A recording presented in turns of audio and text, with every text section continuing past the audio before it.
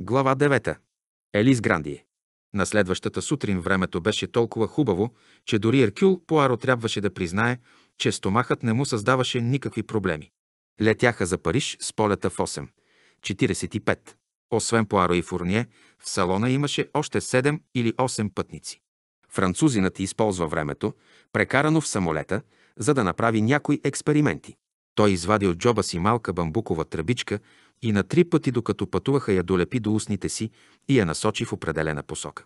Първия път се изправи и се обърна назад над облегалката, а втория само леко изви глава настрани. Третия път опита, когато се връщаше от туалетните. И трите пъти изумените погледи на някои от пътниците се вторачваха в него. При последния опит вече всички го гледаха. Фурния седна на мястото си обезкуражен, а радостното лице на Пуаро не го развесели кой знае колко. Забавно ви е, приятелю, забеляза французинът. Но сте съгласен, че трябва да направим експерименти, нали? Очевидно. Дори се възхищавам от идеята ви. Нищо не може да се сравни с нагледната демонстрация. Опитахте се да влезете в ролята на убиеца с трабата и резултатът е повече от ясен. Всички ви видяха. Не всички. Да, в известен смисъл сте прав. При всеки опит имаше по някой, който не можеше да ви види, но ако искате успешно да извършите подобно убийство, това съвсем не е достатъчно. Трябва да сте напълно сигурен, че никой няма да ви види, а при нормални обстоятелства това е невъзможно, забеляза Фурния. Продължавам да твърдя, че е станало нещо необичайно. Психологически фактор. Нещо друго трябва да е привлякло вниманието на всички в онзи момент. Нашият приятел инспектор Джеп ще проучи този въпрос много внимателно. Съгласен ли сте с мен, мусио Пуаро? Пуаро се поколеба за миг и отговори бавно. Съгласен съм. Фактът, че никой не е забелязал убийството, трябва да има някакво психологическо обяснение.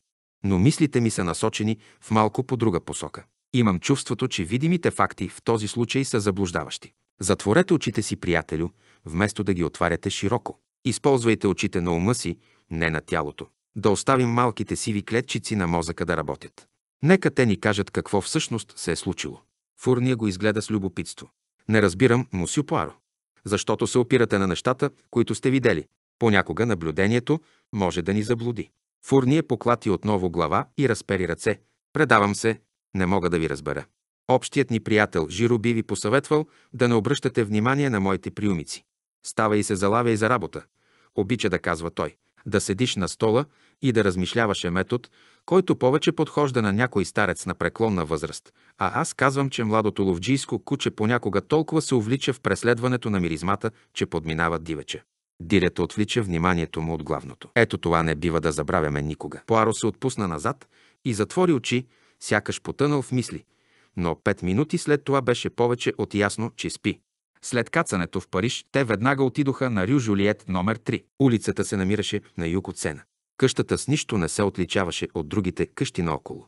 Посрещна ги един застаряващ портиер, който изгледа фурния намръщено. Пак ли полицията? Само неприятности. Този дом ще започне да се ползва с лошо име. И се прибра с мърморене в стаята си. Да се качим в кабинета на мадам Жизел. На първия етаж е, каза Фурния. Той извади ключ от джоба си и обясни, че от съображение за сигурност френската полиция е заключила и запечатала външната врата, докато не приключи разследването в Англия. Боя се, завърши той, че тук няма нищо, което да ни е от полза. Той махна печатите, отключи вратата и влязоха. Кабинетът на мадам Жизел се помещаваше в малък непроветрен апартамент. Въгъла имаше старомоден сейф, имаше още канцеларско бюро и няколко стола с протритата пицерия. Единственият прозорец беше мръсен и сякаш не бе отварян от построяването на сградата. Фурния се огледа и свира мене. Виждате ли? каза той. Няма нищо интересно. Абсолютно нищо. Пуаро отиде зад бюрото, седна на стола и погледна Фурния. След това опипа леко дървената повърхност на плота и отдолу. Тук има звънец, отбеляза той. Да, звъни при портиера. Аха, разумно приспособление. Не е изключено клиентите на мадам Жизел от време на време да са буйствали. Той отвори чекмеджетата. В тях имаше канцеларски материали, календар, писалка и моливи, но никакви документи. Пуаро само хвърли бегал поглед. Няма да ви обиждам, приятелю, с щателно претърсване. Едва ли има нещо интересно, което да не сте открили, сигурен съм. Той погледна сейфа. Не е много надежден, нали? Да, доста стара система е, съгласи се Фурние. И беше празен. Да, Тази проклета прислужница е унищожила всичко. А, да, прислужницата. Доверената прислужница. Трябва да поговорим с нея. Както се изразихме, тази стая няма какво повече да ни каже. И това е един многозначителен факт, не мислите ли? Какво разбирате под многозначителен? Мусио Пуаро. Струва ми се, че тази стая е някакси безлична. Това ми се струва много интересно. Тази жена не се е поддавала на никакви чувства, каза Фурния сухо. Пуаро се изправи. Елате, каза той, да поговорим с прислужничката. С тази доверена прислужничка. Елис Грандия беше ниска, набита жена на средна възраст, с червендалесто лице и малки, хитри очи, които стрелкаха ту Пуаро, ту Фурние. Седнете, мадмуазел Грандие, каза и Фурние. Благодаря, мусю. Тя седна без нито за миг да губи самообладание. Мусю Пуаро и аз днес пристигнахме от Лондон. Предварителното следствие за смъртта на мадам Жизел се състоя вчера. Установено е по категоричен начин, че тя е била отровена. Французойката поклати глава мрачно. Това, което казвате, е ужасно, мусю. Мадам да е била отровена. Такой би си помисли подобно нещо. Може би именно в това ще можете да ни помогнете, мадмуазел. Разбира се, мусю. Готова съм да направя всичко, което мога, за да помогна на полицията. Но не знам нищо, абсолютно нищо. Мадам Жизел имаше ли врагове? Попита Фурния рязко. Не, това не е истина. Защо да има врагове? Помислете, мадмуазел Грандие. Това, с което се е занимавала, понякога води до неприятности. Наистина, понякога клиентите на мадам не бяха особено сговорчиви. Съгласи се Елис. Устройвали са скандали, така ли? Прислужничката поклати глава. Не, грешите. Обикновено не те заплашваха. Те скимтяха, оплакваха се, мъчеха се да обяснят, че не са в състояние да платят. Наистина имаше подобни неща. В гласа й се долавяше съвсем неприкрито презрение. Някои от тях, може би наистина, не са били в състояние да платят. Намеси се Пуаро. Елис Грандие свира мене. Не е изключено. Това си е техен проблем. Обикновено всички плащаха в края на краищата. Сега в гласа й се появи задоволство. Мадам Жизел е била твърда жена, продължи Фурние. Мадам имаше право да бъде твърда. Не изпитвате ли съжаление към жертвите? Жертвите, жертвите, повтори Елис с нетърпение. Вие не разбирате. А необходимо ли е да затънеш в дългове, да харчиш повече, отколкото можеш да спечелиш, да отидеш да вземеш заем и да се надяваш, че парите ще ти бъдат подарени? Това е невъзможно. Мадам винаги е била честна и справедлива. Даваше заеми и очакваше да й бъдат върнати. Така е почтено. Самата тя нямаше дългове и винаги е плащала на време това, което е трябвало да плати. Никога не е пресрочвала никакви сметки. А когато казвате, че мадам е била твърда жена, мога да ви уверя, че това не е истина. Тя беше мила. Винаги подпомагаше сестрите на бедните, когато са идвали. Даваше пари и на други благотворителни организации. Когато жената на Жорж, портиера, се разболя, мадам Жизел плати лечението и в болница. Елис замълча. Лицето й стана още по-червено и ядосано. Вие не разбирате, повтори тя. Вие изобщо не можете да разберете, мадам. Фурния изчака, докато премине възмущението й и продължи. Казахте, че клиентите на мадам винаги са и плащали в края на краищата. Знаехте ли какви средства използваше мадам Жизел, за да ги принуди? Елис свира мене. Нищо не знам, мусю. Абсолютно нищо. Но изгорихте документите й. Изпълних нейното нареждане. Каза ми, че ако някога с нея се случи нещо, ако се разболее и умре някъде извън дома, трябва да унищожат цялата й документация. Тя се намираше в сейфа на долния етаж, така ли? Точно така. Документацията й беше там, в онзи сейф. Ели се зачерви още повече. Изпълних нареждането на мадам, каза тя още веднъж. Разбрах това, каза Пуаро усмихнат. Но документите не бяха в сейфа, нали? Този сейф е много стар. Всеки аматьор би могъл да го отвори без усилие. Тя е държала документите си другаде, може би в спалнята си. Елис остана мълчалива за момент и после отговори. Да, така е. Мадам винаги казваше, че държи документите си в сейфа, но в действителност всичко беше в спалнята й. Ще ни я покажете ли? Елис стана и двамата я последваха. Стаята беше доста голяма, но беше толкова препълнена с тежки стари мебели, че едва можеше да се минава свободно в празното пространство. В единият ъгъл имаше голям стар куфър. Елис вдигна капака и извади отвътре старомодна сребриста рокля с копринена подплата. От вътрешната й страна имаше голям джоб. Документите стояха тук, мусю, обясни Елис. Бяха в голям запечатан плик. Когато разговаряхме преди три дни, не ми казахте нищо за това, каза Фурния остро. Съжалявам, мусю. Вие ме попитахте къде са документите, които би трябвало да са били в сейфа. Отговорих ви, че съм ги изгорила. Това е самата истина. Стори ми се, че няма никакво значение къде са били преди това. Разбирам, каза Фурни. Мадмуазел Грандие, давате ли си сметка, че не е трябвало да унищожавате тези документи? Изпълних нареждането на мадам, отговори Елис намръщено. Зная, че сте направили това с чиста съвест, каза Фурни. А сега искам да ме изслушате внимателно, мадмуазел. Мадам Жизел е била убита. Не е изключено убиецът или убийците да са хора, за които тя е разполагала с компрометираща информация. Тази информация се е съдържала в документите, които сте унищожили.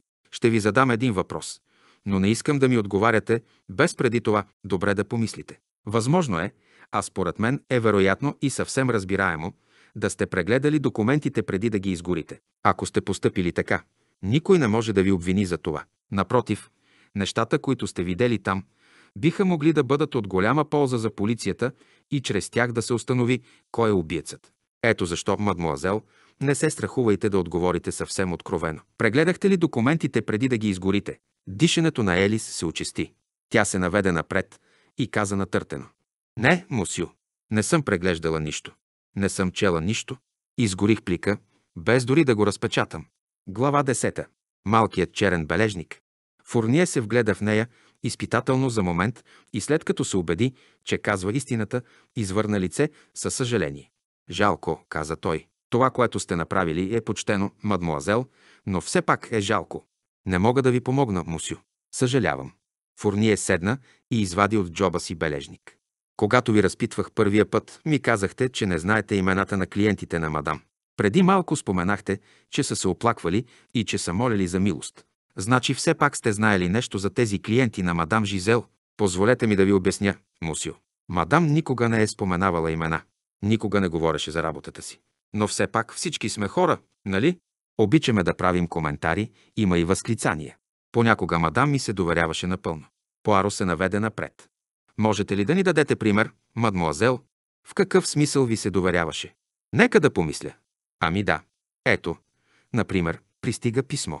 Мадам го отваря и започва да се смее суховато. След това започва да мърмори. Можеш да скимтиш колкото си искаш, скъпа моя. Все едно ще трябва да платиш, понякога ми казваше. Какви глупаци. Какви глупаци. Да си помислят, че ще им дам назаем толкова много пари, без да взема нужните мерки. Информацията е гаранция, Елис. Информацията е сила. Виждали ли сте някой от клиентите, които са идвали тук? Не, мусю. Поне така ми се струва. Виждате ли, те ходеха само на първия етаж и много често идваха по тъмно. Преди мадам Жизел да замине за Англия, колко време прекара в Париж. Върна се едва предния ден. Къде беше преди това? Нямаше я две седмици. Беше в Дювил, Лепине, Пари Плаш и Уиморо. Обикновената и септемврийска обиколка. Помислете си, мадмуазел. Тя каза ли нещо, каквото и да е, което би могло да ни бъде от полза. Ели се замисли за момент и после поклати глава. Не, мусю, не мога да си спомня нищо такова. Мадам беше в добро настроение. Спомена, че работите й вървят добре. Обиколката й била ползотворна. След това ми нареди да се свържа с авиолиниите и да й запазя място за полета до Англия на следващия ден. За сутрешния нямаше места, така че взех за обедния. А спомена ли защо трябва да замине за Англия? Налагаше ли се спешно да го направи? О, не, мусио. Мадам пътуваше до Англия доста често. Обикновено ме уведомяваше един ден преди това. Онази вечер при мадам Жизел дойдоха ли някакви клиенти. Струва ми се, че дойде един, но не съм сигурна. Може би Жорж, портиерът, ще ви каже по-добре. Мадам не сподели с мен нищо. Фурния извади от джоба си няколко снимки на свидетелите. Преди всичко вестникарски изрезки, направени от репортерите при излизането им от залата на съда. Познавате ли някой от тези хора, мадмуазел? Елис ги взе и ги разгледа една по една. След това поклати глава. Не, мусю. Тогава да поговорим с Жорж. Поговорете, мусю. За жалост, Жорж няма много добро зрение. Жалко. Фурния стана. Е, мадмуазел, трябва да тръгваме. Тоест, ако сте съвсем сигурна, че няма нищо, наистина нищо, което сте пропуснали да ни кажете. Аз, че какво бих могла да пропусна? Ели си изглеждаше смутена. Значи се разбрахме. Да вървим, мусю Пуаро. Извинете, търсите ли нещо? Наистина Пуаро обикаляше стаята, сякаш търсеше нещо. Да, така е, отговори той. Търся нещо, но не мога да го намеря. Какво е то? Снимки. Снимки на близките на мадам Жизел. На семейството й. Елис поклати глава. Мадам нямаше семейство. Беше съвсем сама на този свят. Имала е дъщеря. Изгледа я Пуаро остро. Да, така е. Имаше дъщеря. Елис въздъхна. Но тук няма нейна снимка. Продължи да настоява Пуаро. Изглежда не разбирате. Наистина, мадам имаше дъщеря. Но това беше преди много години. Струва ми се, че не я е виждала от когато е била съвсем малко бебе. Как така? Попита Пуаро рязко. Елис разпери ръце. Не зная. Това е било в дните, когато мадам е била млада. Чувала съм, че тогава е била красива. Красива и бедна. Може да е била омъжена, може и да не е. Аз мисля, че не е била. Без съмнение за детето е било осигурено нещо. Самата мадам се разболяла от едра шарка и едва не умряла. Била е много болна. Когато оздравяла, вече не била красива. Край на грешките, край на романтиката. Станала делова жена. Но е завещала парите си на дъщеря си и много правилна постъпка, отговори Елис. На кого да остави човек парите си, ако не на собствената си плът и кръв? Кръвта вода не става. Мадам нямаше приятели. Винаги беше сама. Нейна страст бяха парите, да печели повече и повече. Харчеше много малко. Не обичаше лукса. На вас също е оставила нещо. Знаехте ли? Да, съобщиха ми. Мадам винаги е била щедра. Всяка година, освен заплатата ми, даваше добра сума в добавка. Много съм и благодарна. Е, каза Фурние, трябва да тръгваме. Ще се отбием да поговорим с стария Жорж. Позволете ми да остана още минутка, приятелю, каза Пуаро. Както желаете. Фурния излезе, а Пуаро обиколи стаята още веднъж. Седна срещу Елис и я погледна изпитателно. Французойката стана леко неспокойна. Има ли още нещо, което Мусю би желал да знае? Мадмуазел Грандие, каза Пуаро. Знаете ли кой е убил мадам Жизел? Не, Мусю. Кълна се пред лицето на Бога, че не зная. Каза го искрено. Пуаро я изгледа изпитателно и продължи. Добре, приемам това. Но да знаеш е едно да подозираш. Друго. Имате ли представа?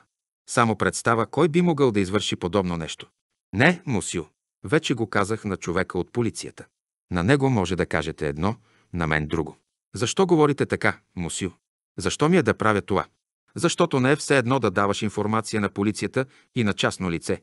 Да, така е, съгласи се Елис. Изведнъж на лицето й се появи нерешителност. Изглежда мислеше. Пуаро се вгледа в нея, наведе се напред и заговори. Да ви кажа ли нещо, мадмуазел Гранди? Част от моята работа е да не вярвам на нищо, което ми се казва. На нищо, което не е доказано. Аз не подозирам най-напред един човек, после друг. Подозирам всички. Считам всеки, който е свързан с убийството, за престъпник, докато невинността му не се докаже. Елис Грандие се намръщи ядосано. Да не искате да кажете, че подозирате мен, че аз съм убила мадам Жизел. Това вече е прекалено. Просто не мога да повярвам. Едрите и гърди започнаха да се издигат и спускат трескаво. Не, мадмуазел Елис, отговори Пуаро. Не ви подозирам в убийството на мадам Жизел. Убиецът е сред останалите пътници в самолета. Не вашата ръка е извършила убийството. Но не е изключено да сте съучастница. Може да сте предали на някого подробностите около пътуването на мадам Жизел. Не съм. Кълна се, че не съм. Пуаро замълча и продължи да я гледа съсредоточено. След това кимна. Вярвам ви. Но въпреки това има нещо, което криете. Да, наистина има. Слушайте, ще ви кажа нещо. Във всеки криминален случай човек попада на една и съща реакция, когато разпитва свидетели. Всички скриват едно или друго. Понякога, всъщност доста често, това е нещо безобидно, нещо несвързано с престъплението. Но фактът си остава. С вас също е така. О, не отричайте. Аз съм Еркюл Пуаро и знам. Когато приятелят ми Мусифурния ви попита дали не сте пропуснали да споменете нещо, изглежда се притеснихте. Отговорихте машинално, отбягвайки истината. Когато след това попитах дали имате да ми кажете нещо, което сте скрили от полицията, съвсем очевидно се замислихте дали да го направите. Има нещо, искам да знам какво е то. Не е нищо съществено. Може би. Но независимо от това, трябва да ми кажете какво е. Не забравяйте, добави той, когато забеляза колебанието й. Аз не съм от полицията. Да, така е, отговори колебливо Елис Грандие и добави. Мусю, трудно ми е. Не знам как мадам би искала да постъпя. Хората казват, че две глави мислят по-добре от една. Защо не се посъветвате с мен? Нека се опитаме да преценим това заедно. Французойката все още го гледаше недоверчиво. Той се усмихна. Елис, вие пазите много добре тайните на господарката си. Както виждам, нещата опират до лоялността ви към мъртвата мадам Жизел. Така е, мусю. Мадам ми се доверяваше. Още откакто постъпих на работа при нея, винаги съм изпълнявала за ръките и лоялно. И сте и благодарна за нещо, което е направила за вас. Нали? Мусю е много проницателен. Да, така е. Нямам нищо против да го призная. Бях измамена, всичките ми спестявания бяха откраднати. А имах дете. Мадам прояви добрина към мен. Тя уреди едни фермери да отгледат детето ми, почтени хора в богата ферма. Някъде по това време тя спомена пред мен, че също е майка. А каза ли на колко години е детето и къде е? Някакви други подробности. Не, мусю. Тя говореше за онази част от живота си, като за нещо безвъзвратно отминало. Каза, че така било най-добре. Дъщеря и щяла да получи образование, да придобие професия. Щяла да наследи и парите й, когато му дойде времето. И не спомена нищо повече за детето или за бащата. Не, мусю, но предполагам. Слушам ви, мадмуазел Елис. Това е само предположение, разбирате. Много добре. Предполагам, че бащата на детето е бил англичанин. А какво точно ви кара да предполагате това? Нищо определено. Просто когато мадам говореше за англичаните, в гласа й имаше горчивина. Освен това ми се струва, че изпитваше особено задоволство, когато държеше в ръцете си някой англичанин. Разбира се, това е само впечатление. Да, но то може да се окаже много ценно. Откриват се още възможности. А вашето дете е мадмуазел Елис. То момче ли беше или момиче? Момиче, мусю. Но умря. Вече стават пет години. Моите съболезнования. Последва пауза. А сега, мадмуазел Елис, каза Пуаро след малко.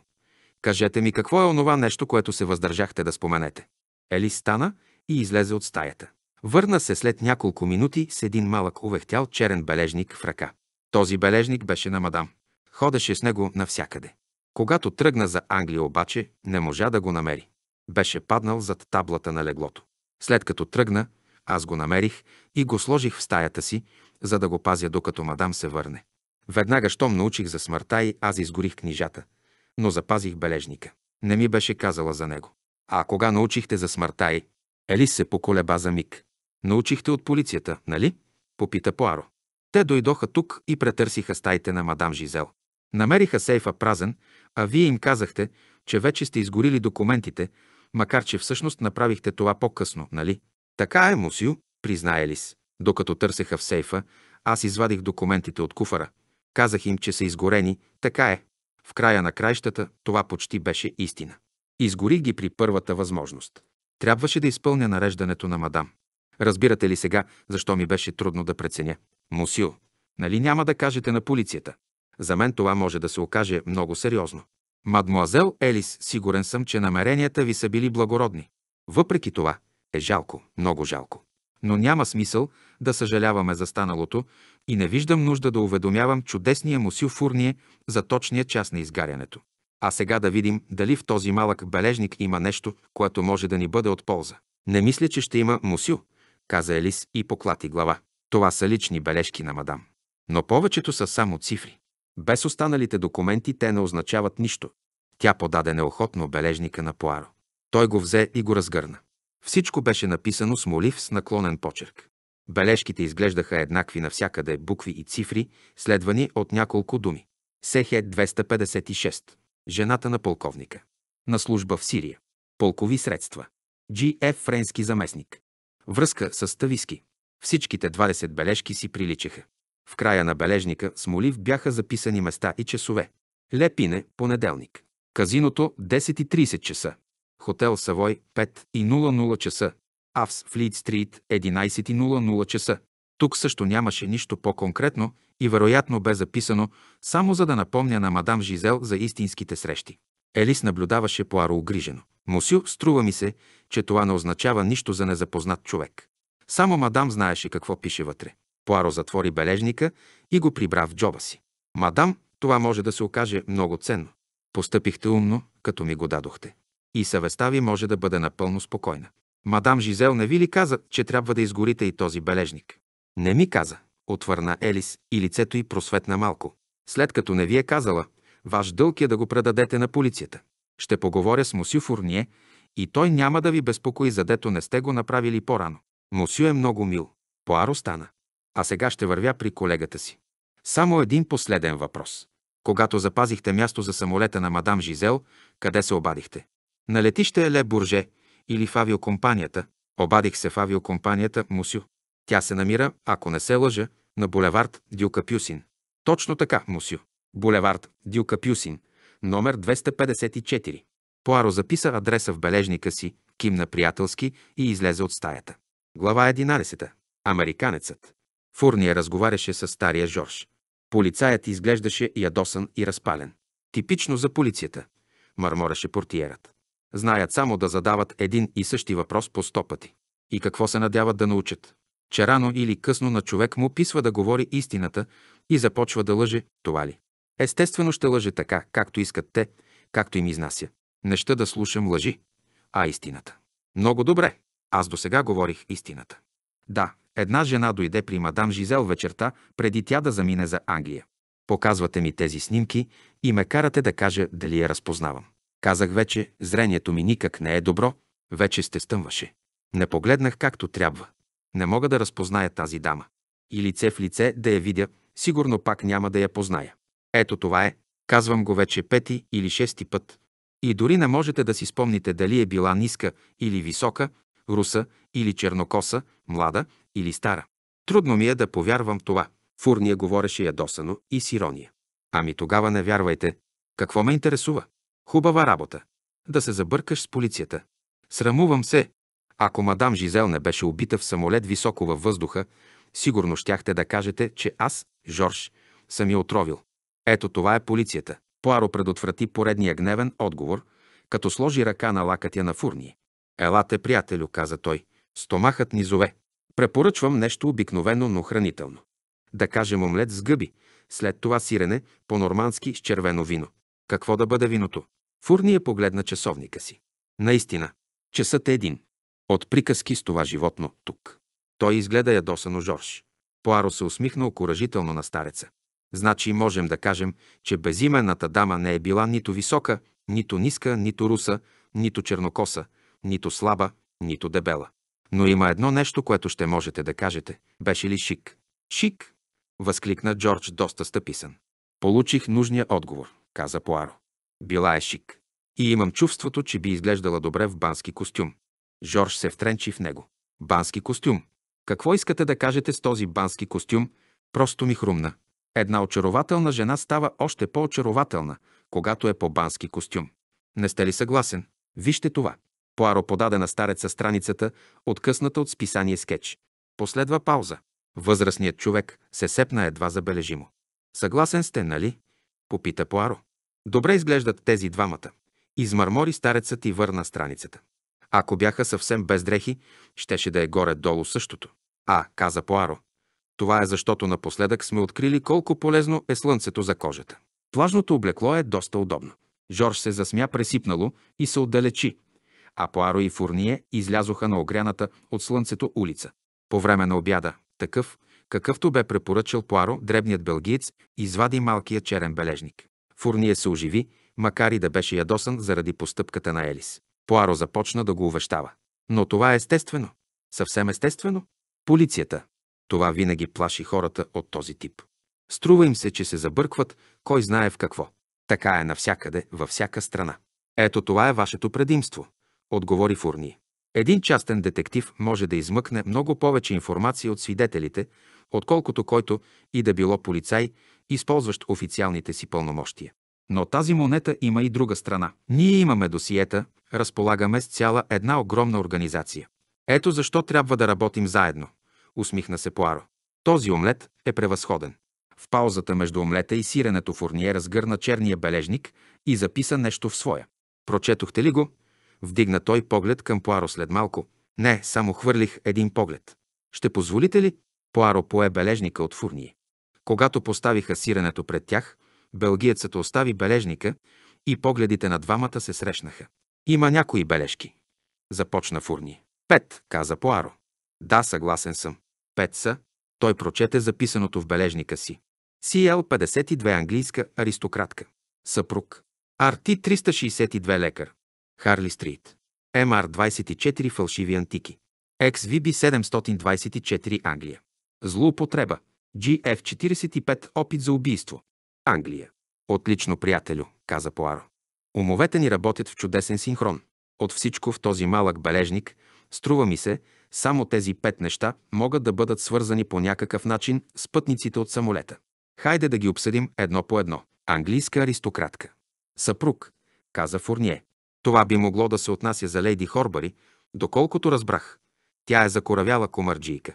Нищо по-естествено от това да вземе пари на заем от мадам Жизел. Нейните клиенти са били именно от този тип. Думата съпруг може да означава две неща.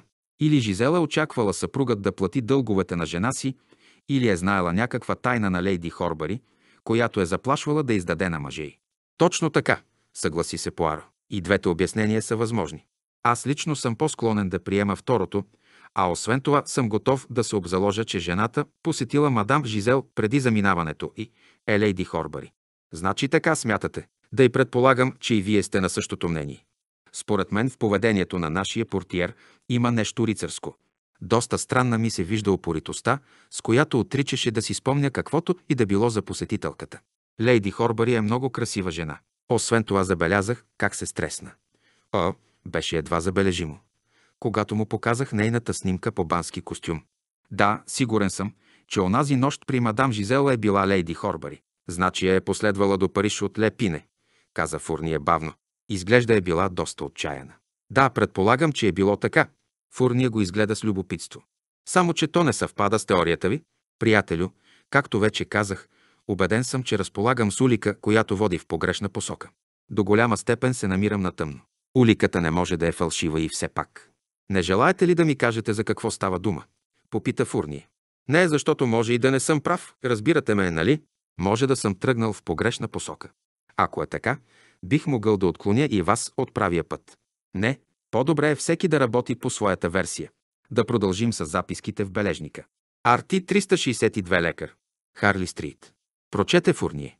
Не е изключено да става дума и за доктор Брайант. Тук нямаме много на какво да се опрем, но не бива да изоставяме тази възможност напълно.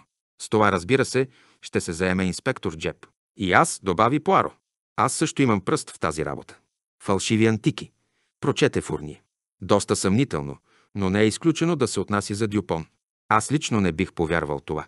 Дюпон е археолог със световна слава. Има много добра репутация, което много би улеснило нещата за него, каза Пуаро. Спомнете си, драги Фурние, с каква добра репутация се ползват, колко хубави чувства събуждат и колко достойни за възхищение ни се струват всички големи измамници, докато ги изобличат. Да, така е, съгласи се Фурние с въздишка. Добрата репутация, продължи Пуаро, е първото необходимо условие за всеки мошеник. Интересна мисъл. Но да продължаваме с записките. XVB 724 е много неясно. Англия. Злоупотреба. Не е много ясно, съгласи се Пуаро. Кой може да върши злоупотреби? Адвокат. Банков чиновник. Всеки, който заема отговорно положение в търговска фирма. Не може да е писател, заболекар или лекар. Единствен представител на търговското съсловие е мистер Джеймс Райдер. Не е изключено да е злоупотребил с някакви средства и да е поискал заем от мадам Жизел, за да се прикрие. А що се отнася до последното? GF-45 опит за убийство. Англия. Тук възможностите са много. Писател, заболекар, лекар, търговец, стюард, фризьорка, аристократка по рождение. GF-45 би могло да се отнася за всеки от тях. Единствено двамата Дюпон отпадат, поради националността си. Той махна с ръка на келнера и поиска сметката. А сега какво, приятелю? Попита Пуаро след това. Ще отидем в полицията. Може да има някакви новини. Добре, ще дойда с вас. След това искам да проуча един малък въпрос, в което може би ще ми помогнете. В полицията Пуаро се видя с шефа на следствения отдел, с когото се бе запознал преди няколко години при друг свой случай. Мусю Жил беше много любезен и учтив. Радвам се да чуя, че сте се заинтересували от този случай, Мусю Пуаро. Мусю Жил, та това се случи направо под носа ми. Нима това не е обида. Еркюл Пуаро да спи, когато се извършва убийство. Мусю Жил поклати глава с разбиране. Тези летящи машини толкова са нестабилни, особено ако времето е лошо. И на мен ми се е случвало да си изпати от тях. Казват, че маршът на армията зависи от стомаха, продължи Пуаро. А до каква степен фините движения на мозъка се влияят от храносмилателния апарат? Когато морската болест ме хване, Аз, Еркюл Пуаро, се превръщам в същество без сиви клетки, без разум, без метод, в обикновен представител на човешкия род с малко под средната интелигентност. Това е достойно за окайване, но е факт. И като говорим за такива неща, как е приятелят ми Жиро, без да обръща внимание на значението на думите, такива неща. Мусю Жил отговори, че Жиро продължава да напредва в кариерата си. Той е много усърден. Енергията му е неизчерпаема. Както винаги, каза Пуаро. Непрекъснато тичаше насам-натам. Пълзеше на четири крака. Появяваше се тук, там, навсякъде. И нито за миг не спираше, за да помисли.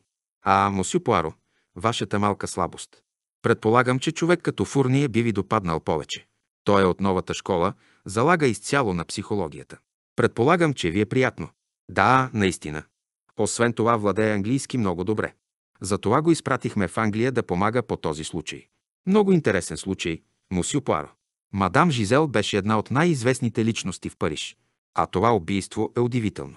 Отровен шип, изстрелян през туземска тръба в самолет. Нима е възможно да се случи подобно нещо. Точно така, извика Пуаро. Точно така.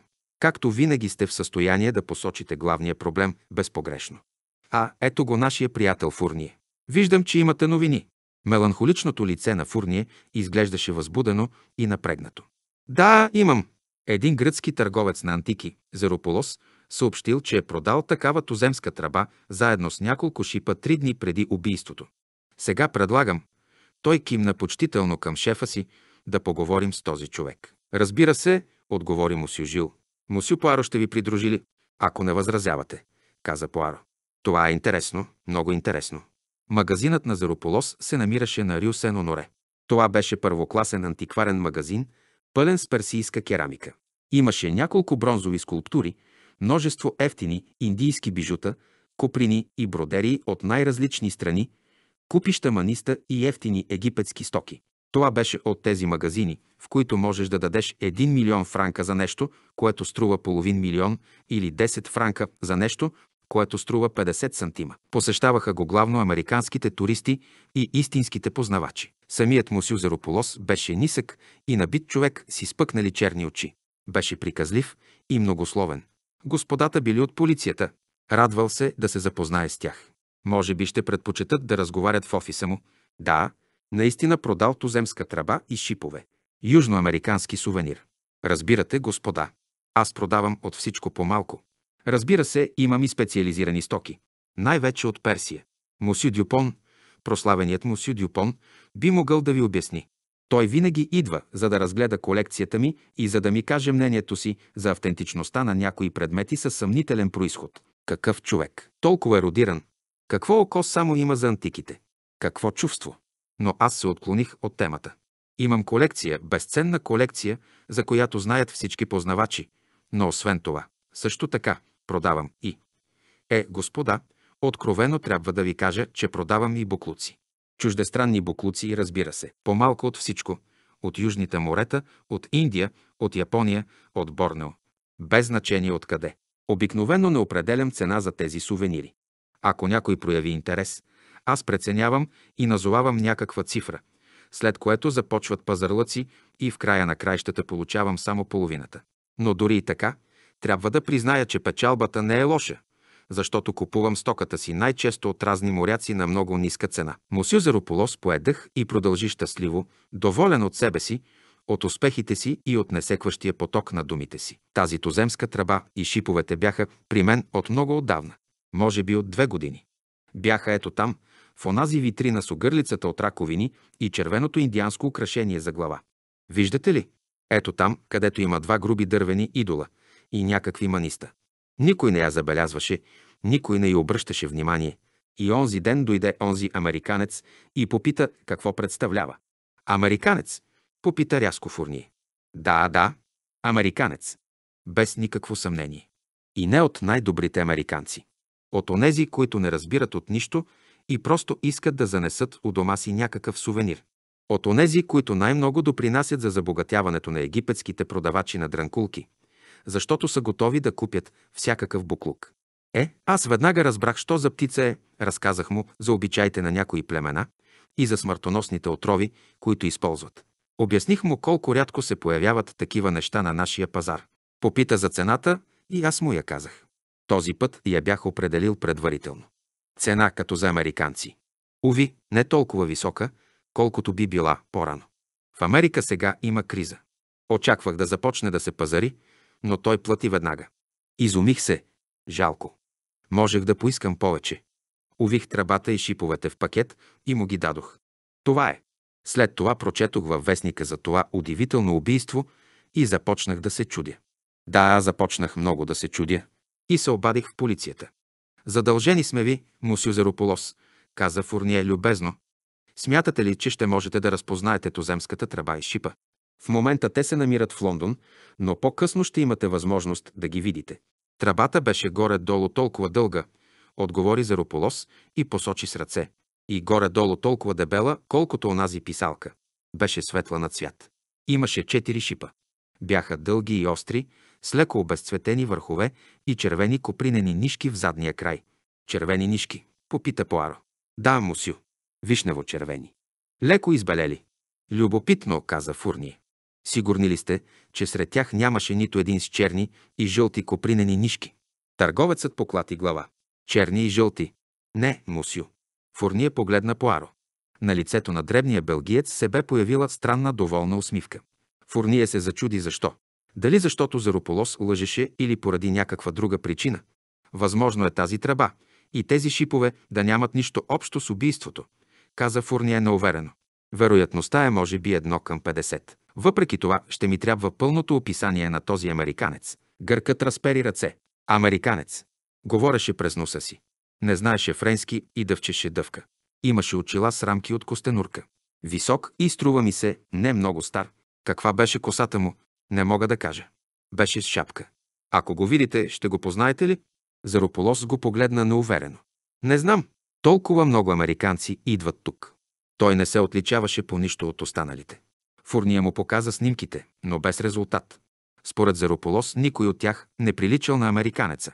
Вероятно гоним вятъра, каза Фурние, когато излязоха от магазина.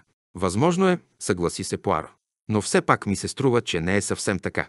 В думите на Мусю Зерополос имаше някои интересни неща. Освен това, големината на етикета върху тръбата от самолета съвпада с големината на етикетите с цените в магазина му. А сега, приятелю, след като гонихме един вятър, моля ви да дойдете, за да подгоним друг. Къде? На булевард Дюкапюсин. Какво има там? Офисът на авиолиниите. А, да, разбира се, но ние вече разговаряхме с служителите. Не можаха да ни кажат нищо интересно. Пуаро го потупа по рамото. Да, вероятно. Но отговорът зависи от въпроса. Не сте знаели какво да питате. А вие знаете ли? Да, имам нещо предвид. Пуаро не каза нищо повече и след известно време те пристигнаха на булевард Дюкапюсин. Офисът на авиолиниите беше съвсем малък. Зад лъснатото до блясък бюро седеше елегантен чернокос човек, а едно 15-годишно момче пишеше нещо на машина. Фурние се легитимира и мъжът, който каза, че името му е Жул Перо.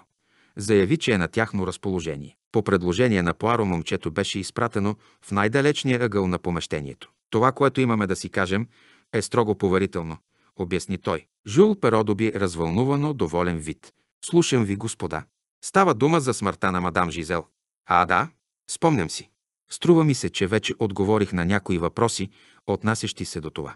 Да, така е, но е необходимо да уточним фактите колкото се може по-добре. Мадам Жизел е получила резервация за полета. Кога? Струва ми се, че вече уточнихме датата. На 17. Резервацията е била за полета в 12 часа на следващия ден, така ли? Да, мусю. Но доколкото разбрах от прислужничката на мадам Жизел, тя е резервирала място за сутрешния полет. Не, не, ето какво се случи. Прислужничката на мадам Жизел попита за полета в 8.45, но всички места бяха заети, така че и дадохме място в обедния самолет. Разбирам, да, мусю. Разбирам, но в същото време ми се струва странно. Определено е странно. Служителят го погледна въпросително. Един мой познат в последния момент решил да пътува за Англия с сутрешния полет и самолетът бил почти празен. Мусю Паро погледна някакви документи и избърса носа си. Може би приятелят ви е сгрешил датата. Сигурно е пътувал предишния или следващия ден. Не, няма такова нещо. Летял е в деня на убийството, защото каза, че ако не бил успял да вземе първия полет, щял да пътува на обяд и да стане свидетел на убийството. Да, наистина, много странно. Понякога хората се отказват в последната минута и естествено местата им остават незаети. Стават и грешки. Ще трябва да се свържа с Ле Бурже. Там не винаги са акуратни. Мекият, въпросителен поглед на Еркюл Пуаро изглежда безпокоеше му си Жул Перо. Той замълча. Очите му зашариха неспокойно. На челото му се появиха малки капчици пот. Това са възможни обяснения, каза Пуаро. Но някак си ми се струва, че не са верни. Не смятате ли, че е по-добре да изясним въпроса до край? Какъв въпрос? Не ви разбирам. Разбирате ме много добре. Мусил Перо. Слушайте, става дума за убийство. Убийство, мусил Перо. Не забравяйте това, ако обичате. Укриването на информация може да ви се отрази много зле, много зле. Полицията няма да погледне с добро око на това. Вие пречите на правосъдието. Жул Перо се втренчи в него. Устата му увисна. Ръцете му затрепериха. Хайде, продължи Пуаро. Гласът му беше властен, нетърпящ възражение. Искаме да чуем точните факти. Колко ви платиха? Кой ви плати? Не съм предполагал. Не съм смятал, че ще стане нищо лошо. И презум не ми мина. Колко и кой? Пъпа 5000 франка. Никога не бях виждал този човек. Аз. Това ще е краят за мен. Краят ще настъпи, ако не ни кажете всичко. Хайде, вече знаем какво е станало. Кажете ни точно как се случи. Жул Паро заговори бързо и смутено. Пота започна да се стича по челото му. Не съм предполагал, че ще стане нещо лошо. Кълна се в честа си. Не предполагах. Дойде един човек. Каза, че иска да пътува за Англия на следващия ден. Искал да преговаря за заем с мадам Жизел, но искал срещата им да бъде непринудена. Така щял да има по-голям шанс. Знаел, че се кани да пътува за Англия на следващия ден. Аз само трябваше да й кажа, че всички места за сутрешния полет са продадени и да й дам място номер две в Прометей. Господа, кълна се, че не видях нищо лошо в това, какво значение би могло да има. Американците са такива. Уреждат бизнеса си доста неконвенционално. Американец? Попита Фурния рязко. Да, господинът беше американец. Как изглеждаше? Висок, леко прегърбен, с сива коса и очила с рогови рамки. Малка козя брада. Самият той запази ли си място? Да, място номер едно. До това, което трябваше да запазя за мадам Жизел. На чие име? Сайлас. Сайлас Харпър. Такъв човек не е пътувал. Мястото до мадам Жизел беше празно. Пуаро поклати бавно глава. Видях, че не е пътувал такъв човек и затова реших, че няма смисъл да споменавам тази случка. След като този американец не е бил в самолета, Фурния го изгледа студено. Укрили сте много важна информация, каза той. Става дума за нещо сериозно. Двамата с Пуаро излязоха от офиса и оставиха Жюл Перо, който ги гледаше с оплашен вид. На тротуара навън Фурние свали шапката си и се поклони. Моите поздравления, мусю Пуаро. Откъде ви хрумна да попитате това? От две неща, които чух. Едното го каза някакъв мъж в самолета. Каза, че е летял със сутрешния полет в деня на убийството и че самолетът е бил почти празен. Второто го каза Елис. Тя твърдеше, че се е обадила в офиса на авиокомпанията и оттам са й отговорили, че за сутрешния полет няма свободни места. Тези две твърдения си противоречат. Спомних си, че стюардът на Прометей каза, че е виждал мадам Жизел да лети със сутрешния полет. Очевидно такъв бил навикът ти. Само, че някой искал тя да лети с самолета в 12. Някой вече е имал билет за Прометей. Защо помислих си, служителят е казал, че за сутрешния полет няма свободни места? Грешка. Или умишлена грешка. Реших, че е второто. Оказах се прав. С всяка минута този случай се заплита все повече, извика Фурния. Най-напред изглеждаше, че сме попаднали на следите на жена. Сега се оказва мъж. Този американец. Той замълча и погледна Пуаро. Пуаро кимна леко. Да, приятелю. Никак не е трудно да се представиш за американец тук в Париж. Носовият говор, дъвката в устата, малката брада, очилата с рогови рамки и всички останали сценични аксесуари от костюма на американеца. Пуаро извади от джоба си страницата от списание Скетч. Какво гледате? Една графиня по бански костюм. Мислите, че... Но не е възможно. Тя е хубава, очарователна, крехка. Не би могла да се преоблече като американец. Предполагам, че има заложби на актриса, но да изиграе тази роля ми се струва невъзможно. Не, приятелю, тази идея е неосъществима. Никога не съм твърдял противното, отговори Аркил Пуаро. Той продължаваше да се взира напрегнато в страницата от списанието. Глава 12.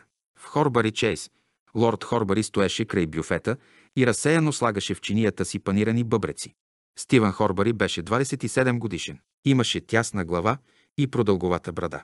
Външният му вид до голяма степен отговаряше на това, което беше в действителност – спортен тип, който не се задържа много вкъщи и който няма кой знае какъв ум. Беше благ по характер, макар и малко своенравен, безкомпромисно лоялен гражданин и непобедим инат. Той занесе препълнената си чиния обратно на масата и започна да се храни. След малко разгърна вестник, но веднага се намръщи и го захвърли на страна.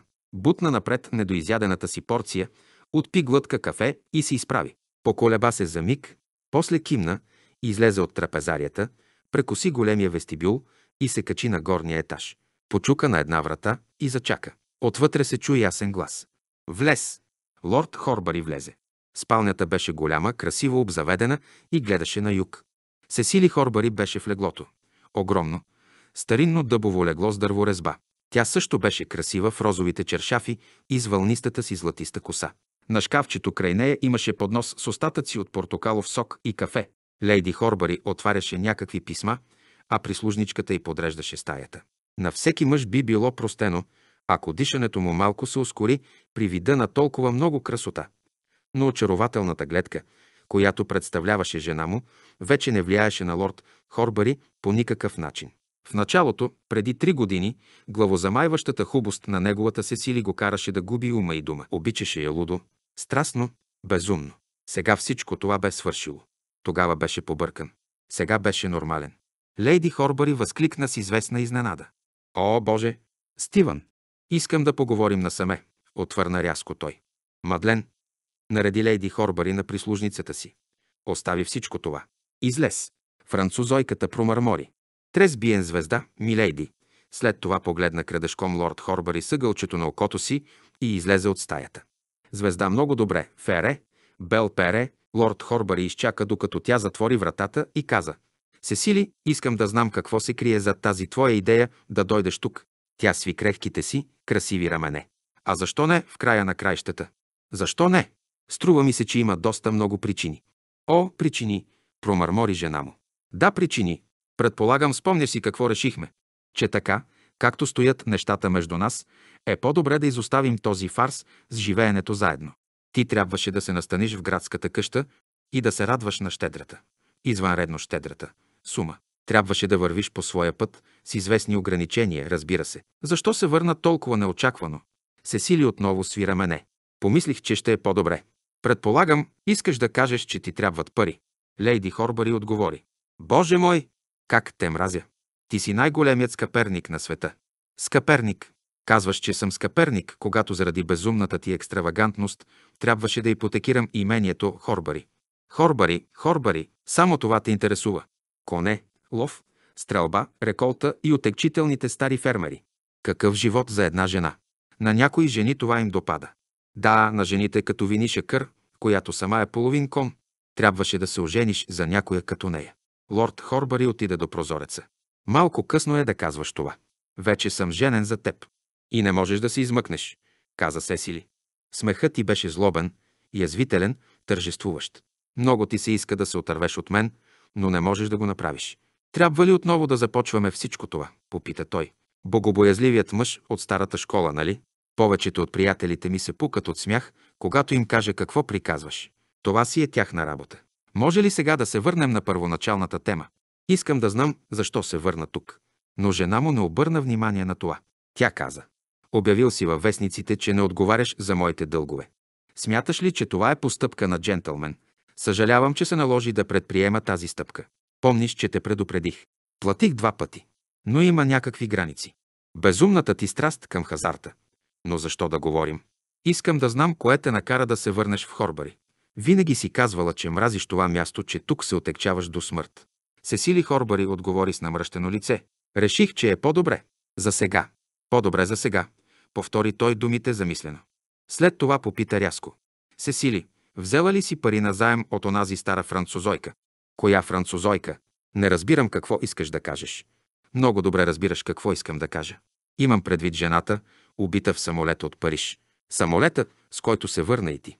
Вземала ли си пари от нея? Не, разбира се. Що за идея? Не бъди глупачка, се сили. Ако си взела пари от тази жена, по-добре е да ми кажеш. Не забравяй, че далеч не всичко е свършило. Заключението на предварителното следствие беше, че е извършено умишлено убийство от неизвестно лице. Полицията и от двете страни е задействана. Само въпрос на време е да открият истината. Ако се доберат до нещо, което да те свърже с нея, трябва да сме подготвени. Трябва да се посъветваме с Фолкс по този въпрос. Фолкс, Фолкс, Уилбрахам и Фолкс бяха адвокатите, които се грижаха за имението Хорбари от векове, а не дадох ли показания пред проклетия съд? Не казах ли, че не съм и чувала за тази жена? Не смятам, че това доказва нещо, каза лорд Хорбари сухо. Ако си имала вземане-даване с тази Жизел, може да си сигурна, че полицията ще открие рано или късно. Сесили се изправи ядосано в леглото. Може би си мислиш, че съм я убила аз. Че съм станала в онзи самолет и съм духнала отровен трън във врата й. Каква дивотия! Наистина всичко това звучи странно. Съгласи се Стивън замислено. Но искам да разбереш в какво положение се намираш. Какво положение? Няма никакво положение. Ти не вярваш на нито една моя дума. Дяволите да го вземат. А и защо изведнъж се загрижи толкова за мен? Какво те интересува, какво ще стане с мен? Вече не ме харесваш. Мразиш ме. Щеше да се радваш, ако умра още утре. Защо се преструваш? Не преувеличаваш ли малко? Във всеки случай, колкото и старомоден да смяташ, че съм, все още ме интересува какво ще стане с името на семейството ми. Старомодна загриженост, която вероятно презираш, но тя е факт. Той рязко се завъртя на пета и излезе от стаята. Кръвта пулсираше в слепоочията му. Не я харесвам. Мразя я. Да, точно така. Дали ще се радвам, ако умре? Боже мили! Да, ще се чувствам като човек, освободен от затвора. Какво ужасно, гнусно нещо е животът. Когато я видях за първи път. Какво дете, на какво очарователно дете приличаше, толкова красива и прелесна. Проклет млад глупак, бях полудял по нея. Полудял. Струваше ми се, че на земята няма нищо по-достойно за обожание от нея. А през цялото време тя е била една и съща. Това, което е сега. Вулгарна, зла, злобна, празноглава. Вече дори не мога да видя красотата й. Той изсвири и при него дотича един кокер шпаньол, който го погледна с обожаващи, тъжни очи. Добрата стара Бетси, каза той и погали кучката между ушите. Какво недоразумение, мислеше той. Да наричаш една жена кучка. Кучка като теб, Бетси, струва колкото всички жени, които съм виждал досега, взети заедно. Той нахлупи на главата си стара рибарска шапка и излезе навън заедно с кучето. Безцелната разходка и симението постепенно започна да успокоява изопнатите му нерви.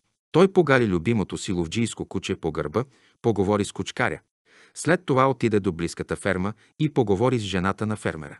После тръгна по една тясна пътека с Бетси по летите си и не след дълго срещна Виниша Кър, въседнала дорестата си кобила. Виниша изглеждаше много добре на седлото. Лорд Хорбари я погледна с възхищение, симпатия и някакво странно чувство за близост. Здравей, Виниша, поздрави я той. Здравей, Стивън. Къде така? На разходка ли? Да. Как ти се струва? Нали е чудесна? Първокласна е. Видя ли моята две годишна кобила? Тази, която купих на разпродажбата в Четели. Поговориха известно време за коне, след което той каза. Между другото, Сесили е тук. Тук, в Хорбари. За Виниша Кър беше необичайно да изразява изненада. Но този път не можа да скрие тази нотка в гласа си. Да, появи се с нощи. Последва пауза, след която Стивън попита. Виниша, ти беше на онова предварително следствие. Как? Как мина то? Тя се замисли за миг. Е, никой не каза нищо съществено, ако разбираш какво искам да кажа. Полицията не съобщи ли нещо? Не. Трябва да си се чувствала много неприятно, продължи Стивън. Е, не мога да кажа, че беше приятно. Но не беше и трагедия. Следователят беше приличен човек. Стивън удари разсеяно живия плет с ръка. Виниша, чудя се, знаеш ли, имаш ли представа кой може да го извършил? Виниша кърпо клати бавно глава. Не. Тя замълча за миг, за да намери най-подходящите и тактични думи за това, което искаше да каже. Най-накрая успя да изрече със смях. Както и да е, сигурна съм, че не сме нито се сили, нито аз. Това знам. Тя би ме забелязала, а аз бих забелязала нея. Стивън също се засмя. Значи всичко е наред, каза той развеселен. Стивън се направи, че приема тези думи като шега, но тя долови облегчението в гласа му. Значи беше мислил. Виниша Кър насочи мислите си другаде. Виниша, каза Стивън. Познаваме се от много време, нали? Хеме. Да. Помниш ли онези ужасни уроци по танци, които посещавахме като деца? Как да не ги помня? Имам чувството, че мога да ти кажа неща, които... Разбира се, че можеш.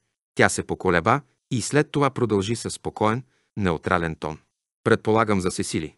Да, слушай, Виниша. Сесили беше ли се забъркала с тази Жизел по някакъв начин? Не зная, отвърна Виниша бавно. Аз бях в Южна Франция. Още не съм чула клюките от Лепине. А как мислиш? Честно казано, не бих се изненадала. Стивън я погледна замислено. Виниша каза тихо. Защо се безпокоиш?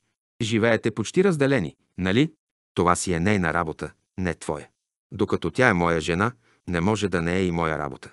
Не можеш ли да се разведеш? Да скалъпя някаква история срещу нея. Не мисля, че ще се примири с такова нещо. Би ли се развел, ако имаше как? Ако имаше причина, със сигурност би го направил. Той говореше мрачно.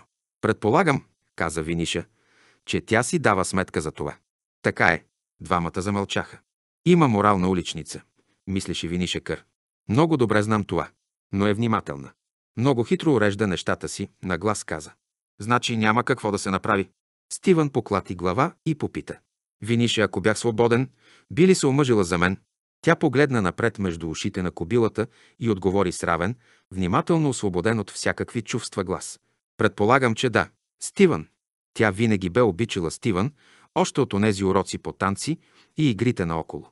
Стивън също я харесваше, но недостатъчно, за да не се влюби толкова отчаяно, безумно, лудо в онази хитра, пресметлива уличница. Бихме могли да живеем чудесно заедно, каза Стивън. Пред погледа му се замяркаха картини. Лов, чай и кифлички.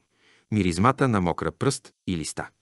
Деца, всичките неща, които се сили никога не би споделила с него, които никога не би му дала. Очите му сякаш се замъглиха, след това отново чу равния, спокоен глас на Виниша. Стивън, ако наистина го желаеш, какво пречи? Ако заминем заедно, Сесили ще трябва да ти даде развод. Той я прекъсна веднага. Боже мой! Мислиш ли, че съм в състояние да те оставя да направиш такова нещо? Не ме интересува. Мен ме интересува. Тонът му беше категоричен. Винише си помисли, ето това е. Жалко наистина. Страда неизлечимо от предразсъдъци, но е много мил. Не бих желала да е друг. Наглас тя каза. Е, Стивън, трябва да тръгвам. Тя леко бутна кобилата с крака. Когато се обърна, за да му махне за довиждане, очите им се срещнаха и в този разменен поглед бяха всичките чувства, които внимателно подбраните им думи не бяха изразили. Когато завизат ъгъла на пътеката, тя изпусна към шика си. Един мъж, който ходеше пеша, се наведе и го подаде с пресилен поклон. Чужденец, помисли си тя, когато му благодари. Струва ми се, че помня лицето му, половината и ум се съсредоточи върху летните дни, прекарани във Франция, а другата се замисли за Стивън. Едва когато стигна от дома си, паметай накара полузамечтание и ум да се стресне. Дребният човек, който ми отстъпи мястото си в самолета. На предварителното следствие казаха, че бил детектив. И след това се появи друга мисъл. Какво прави той тук? Глава 13. При Антуан. Джейн се появи в фризьорския салон на Антуан на сутринта, след предварителното следствие, доста неспокойна. Човекът, който се наричаше Антуан и чието истинско име всъщност беше Андрю Лич, можеше да твърди, че е от чуждестранен происход единствено заради майка си, която беше еврейка. Той посрещна Джейн с злокобно смръщено лице. За него вече бе станало втора природа да говори на завален английски, веднага щом се появеше на Брутън Стрит. Той се нахвърли върху Джейн, сякаш тя беше абсолютно невменяема. И защо и трябвало да пътува с самолет? Що за хрумване? Нейните необмислени приключения може ли да причинят непоправимо зло на заведението му и така нататък? След като той изля целия си гняв, Джейн най-после бе освободена и приятелката й Гледис и намигна многозначително. Гледис бе прелесна блондинка с високомерно държание и тих, добре овладян професионален глас. Когато не разговаряше с клиентки, гласът ти ставаше дрезгав и шеговит. Не се тревожи, скъпа, каза тя на Джейн. Старият звяр седи на оградата и чака да види от коя страна ще скочи котката. Само, че ми се струва, че тя няма да скочи от към страната, която той си мисли. Ох, мила моя, ето, че идва моята стара вещица.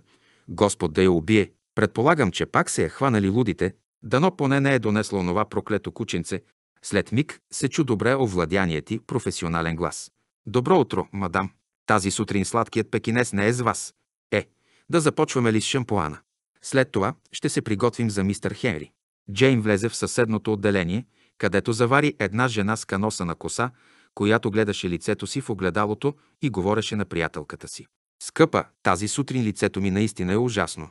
Наистина. Приятелката, която отекчено разгръщаше страниците на списание Скетч, от преди три седмици отговори. Така ли мислиш, скъпа? На мен не ми се струва по-различно от друг път. Когато Джейн влезе, отекчената приятелка отдели безизразния си поглед от страниците на списанието и я стрелна с очи. Така е, скъпа. Сигурна съм, каза тя след това. Добро утро, мадам. Поздрави Джейн с веселата жизненост, която се изискваше от нея и която тя вече можеше да възпроизвежда съвсем механично и без никакво усилие. Отдавна не сте ни посещавали. Може би сте били в чужбина. Бях в Антип, отговори жената с каноса на коса, която на свой ред също се втренчи в Джейн с неприкрит интерес. Колко хубаво, каза Джейн с престорен ентусиазъм. Какво да бъде днес? Шампуан и прическа или само ще освежим цвета? За миг откъсната от обекта на наблюдението си, жената с каноса на коса отново се вгледа съсредоточено в огледалото. Мисля, че ще може да издържи още една седмица. Боже, какво страшилище съм, приятелката й каза. Е, скъпа, какво можеш да очакваш по това време на деня? Джейн каза. О, почакайте само мистър Джордж да свърши с вас. Кажете ми. Жената отново се втренчи в нея. Вие ли бяхте тази, която даде показания на предварителното следствие вчера? Да, мадам. Колко вълнуващо. Разкажете ни за това. Джейн се постара да угоди максимално. Мадам наистина беше ужасно. И тя се впусна в разказа, като отговаряше на задаваните й въпроси. Как изглеждала старата французойка? Вярно ли било, че на борда на самолета имало двама френски детективи и че цялата работа била свързана с френски правителствен скандал? Била ли е леди Хорбари на самолета? Наистина ли била толкова хубава, колкото казват всички? Кой според Джейн е извършил убийството? Всички приказвали, че тази история ще се потули заради правителството и така нататък, и така нататък. Това първо изпитание беше само началото. Последваха много други от същия тип. Всички искаха да ги обслужи момичето, което е било в самолета. И всички след това можеха да кажат с гордост «Мила моя». Просто невероятно. Момичето, което се грижи за косата ми е момичето, което... Да, на твое място и аз бих отишла при нея. Освен всичко е и много добра фризьорка. Казва се Джин. Доста дребничка с големи очи. Ако я помолиш любезно, ще ти разкаже всичко. Към края на седмицата Джейн вече чувстваше, че нервите й не издържат на напрежението. Понякога и се струваше, че ако я накара да изрецитира всичко още веднъж, ще се нахвърли върху клиентката си с сешуара. Както и да е, най-накрая тя откри по-добър начин да оталожи чувствата си. Отиде при Мусю Антуан и дръско поиска да й повиши заплатата. Ти искаш това от мен? Имаш нахалството да ми го кажеш, след като те държа тук само от добрина, след като се забърка в цялата тази каша, много други биха те изхвърлили на улицата незабавно. Не е вярно, отвърна Джейн хладно. Извадихте късмет с мен и го знаете много добре. Ако искате да се махна, ще се махна. Без проблеми ще получа работа при Хенри или в Мезон Рише. И как клиентките ще разберат, че си отишла там? Изобщо за каква се смяташ? При предварителното следствие се запознах с един-двама репортери. Единият от тях веднага ще напише във вестника, че съм сменила работното си място. Антуан се обезпокои, че може би е права и се съгласи на повишението, което тя искаше. Гледи си я поздрави от сърце. Браво на теб, скъпа! Андрио този път не можа да ти се опре. Ако едно момиче не може да се защити, не знам къде щяхме да бъдем всички. Имаш кораж, скъпа, и за това те уважавам. Наистина мога да се боря за себе си, отговори Джейн и навири воинствено брадичката си. Цял живот се е налагало да го правя. Наистина не е лесно, скъпа, каза Гледис. Но дръж на своето пред Андрю. Той още повече ще те хареса заради това. Слабостта в този живот не струва пет пари. Но не смятам, че ние двете имаме подобни проблеми. След това разказът на Джейн, повтарян ежедневно с малки вариации, за нея се превърна в нещо като театрална роля.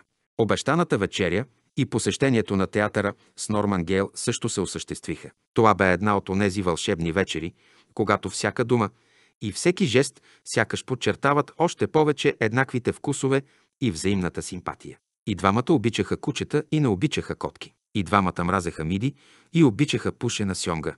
Обичаха Грета Гарбо и не обичаха Катрин Хепбърн. Не обичаха дебели жени и се възхищаваха от катранено-черните коси.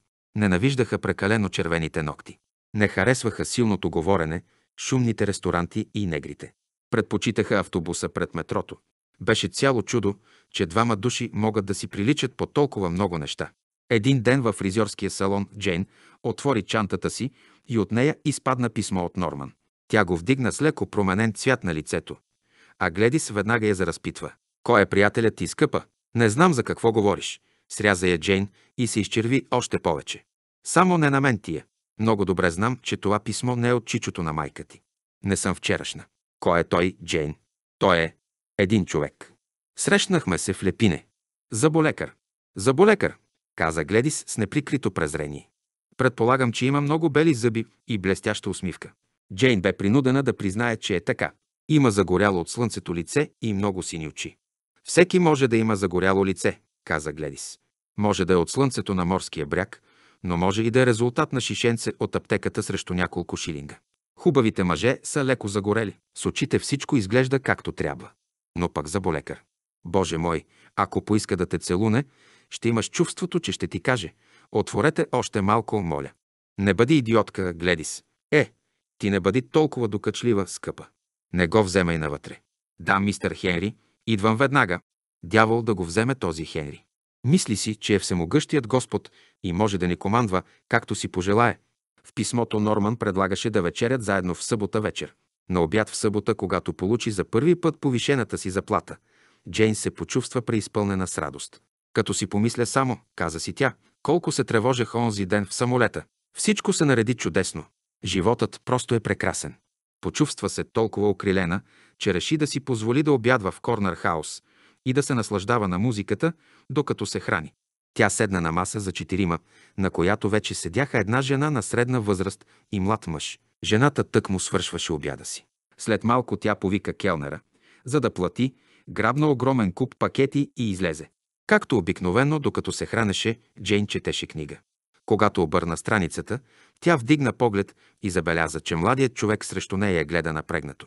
Тя си даде сметка, че лицето му е познато. Тък му, когато направи това откритие, младият мъж срещна погледа и кимна. Извинете, мадмуазел, не ме ли познахте? Джейн се вгледа в него още по-внимателно. Имаше светло момчешко лице, привлекателно повече заради живостта си, отколкото заради някаква истинска хубост. Наистина, официално не сме се запознавали, продължи младият мъж. Освен ако едно убийство и даването на показания в съда могат да се приемат за запознанство. Но разбира се, възкликна Джейн. Колко съм глупава! Лицето ви ми се стори познато. Вие сте. Жан Дюпон, отговори мъжът и се поклони смешно и доста ангажиращо. Изведнъж Джейн си спомни една забележка на Гледис, изречена може би без излишна деликатност. Ако един е тръгнал след теб, без съмнение ще има и други. Изглежда това е природен закон. Понякога стават дори трима или четирима. Джейн винаги беше водила скромен, изпълнен с труд живот. До голяма степен като думите, които обикновено казват след това за момичетата, които избягат с някого. Тя беше весело, умно момиче и нямаше никакви приятели мъже. Джейн също беше весело, умно момиче и нямаше приятели мъже. Сега и се струваше, че мъжете просто се тълпят около нея. Нямаше никакво съмнение в това. Лицето на Жан Дюпон, наведен напред над масата, изразяваше повече от обикновеното учтиво внимание. Беше доволен, че седи срещу Джейн. Беше повече от доволен. Беше щастлив. Джейн си каза, изпълнена със съмнение. Все пак той е французин. Човек трябва много да внимава с французите. Всички говорят това. Значи още не сте напуснали Англия, каза Джейн и се прокле заради глупостта на забележката си. Да, баща ми чете лекции в Единбург и бяхме отседнали при приятели. Но утре се връщаме във Франция. Аха, полицията още ли не е арестувала никого? Попита Жан Дюпон. Не, напоследък и във вестниците не пише нищо. Може би са се отказали. Жан Дюпон поклати глава. Не, не могат да се откажат. Работят тихо мълком. Той направи изразителен жест. Натъмно. Не дейте, каза Джейн смутено. Карате ме да треперя. Наистина, никак не е приятно да си бил толкова близо, когато са убили човек. И добави, а аз бях по-близо от вас. Много по-близо. Понякога дори не мога да мисля за това. Кой според вас го е направил? Попита Джейн. Много пъти съм си задавала този въпрос. Жан Дюпон свира мене. Не съм аз. Тя беше прекалено грозна. Нима, отвърна Джейн, не бихте предпочели да убиете грозна жена, вместо красива. Ни най-малко. Ако една жена е красива, човек се привързва към нея. Тя започва да се отнася зле с него. Кара го да ревнува, да полудява от ревност. Накрая си казва, добре, ще взема да я убия. Това ще е някакво удовлетворение. А нима е удовлетворение. Това, мадмуазел, не мога да зная, защото все още не съм опитвал. Той се засмя и поклати глава. Но една стара, грозна жена като мадам Жизел. На кого му е потрябвало да я убива? Е, това е един начин да погледнем на нещата, каза Джейн и се намръщи. Струва ми се ужасно, когато си помисля, че някога сигурно е била млада и красива. Да, зная, отговори той и изведнъж доби мрачен вид. Голямата трагедия на този живот е, че жените остаряват. Изглежда мислите доста за жените и външния им вид, забеляза Джейн. Естествено, това е най-интересното нещо. Струва ви се странно, защото сте англичанка. Англичаните мислят най-напред за работата си, след това за любимия си спорт и най-накрая, ама съвсем накрая, за жените си. Да, наистина е така. Спомням си веднъж в някакъв малък хотел в Сирия имаше един англичанин, чиято жена се разболя. Самият той до някаква дата трябваше да замине за Ирак. Е, добре, може и да не повярвате, но този човек остави жена си и замина, за да изпълни дълга си на време. И двамата смятаха това за абсолютно нормално. Жена му дори твърдеше, че това е благородна, неегоистична постъпка. Само, че лекарят, който не беше англичанин, го смяташе за варварин. Жената е човешко същество и би трябвало да стои на първо място. Работата е нещо далеч по-маловажно. Не съм сигурна, отговори Джейн. Предполагам, че работата е по-важното нещо. Но защо?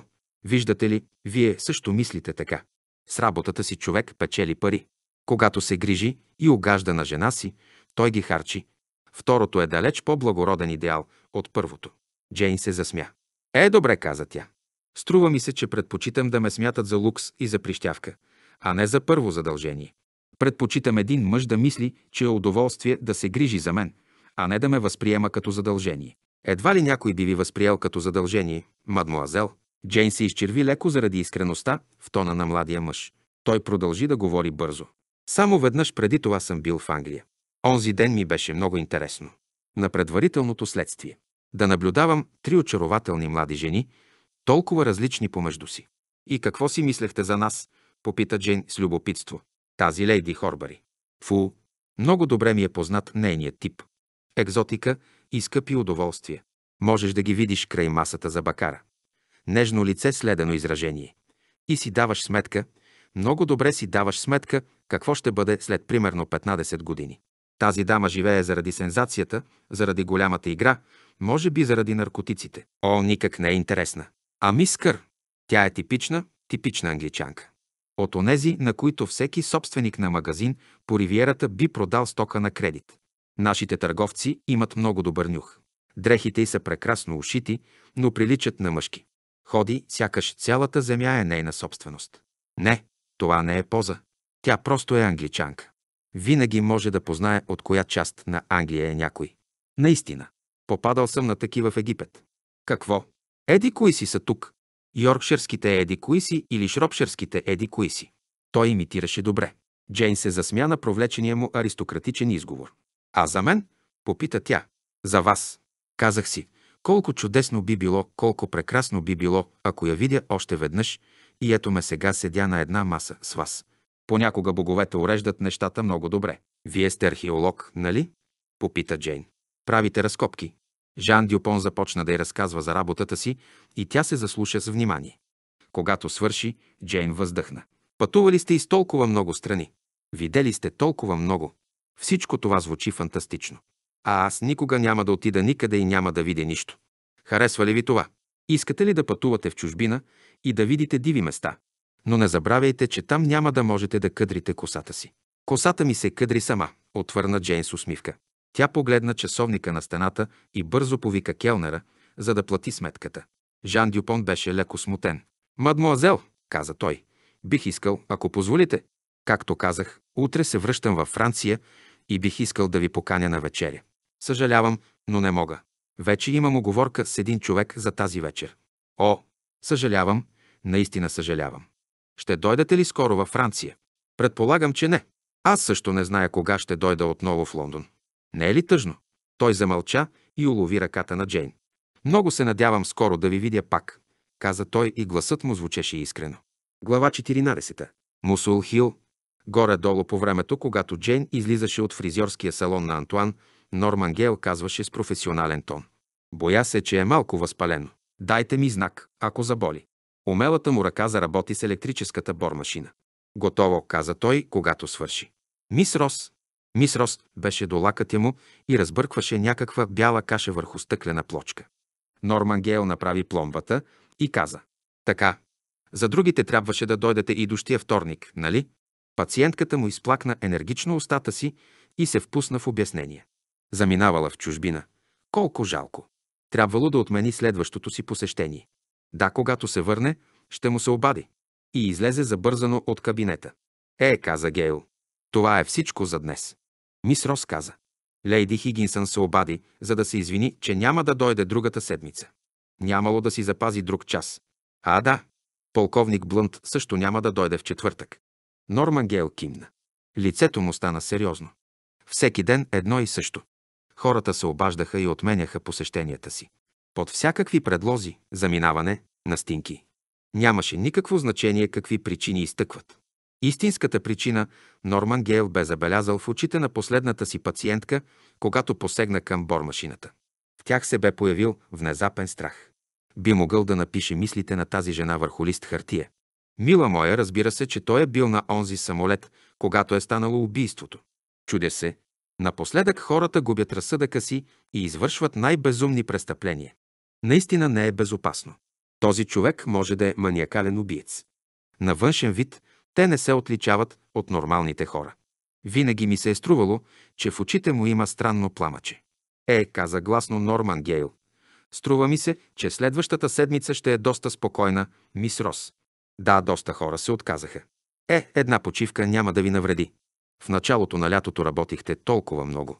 Изглежда есента няма да имам възможност да работя толкова много, нали? Мис Рос не отговори. От нуждата да го направи я спаси и звъняването на телефона. Тя излезе от кабинета, за да вдигне слушалката. Норман пусна някакви инструменти в стерилизатора и се замисли дълбоко. Какво се случи? Ясно е какво. Тази история ме унищожи професионално.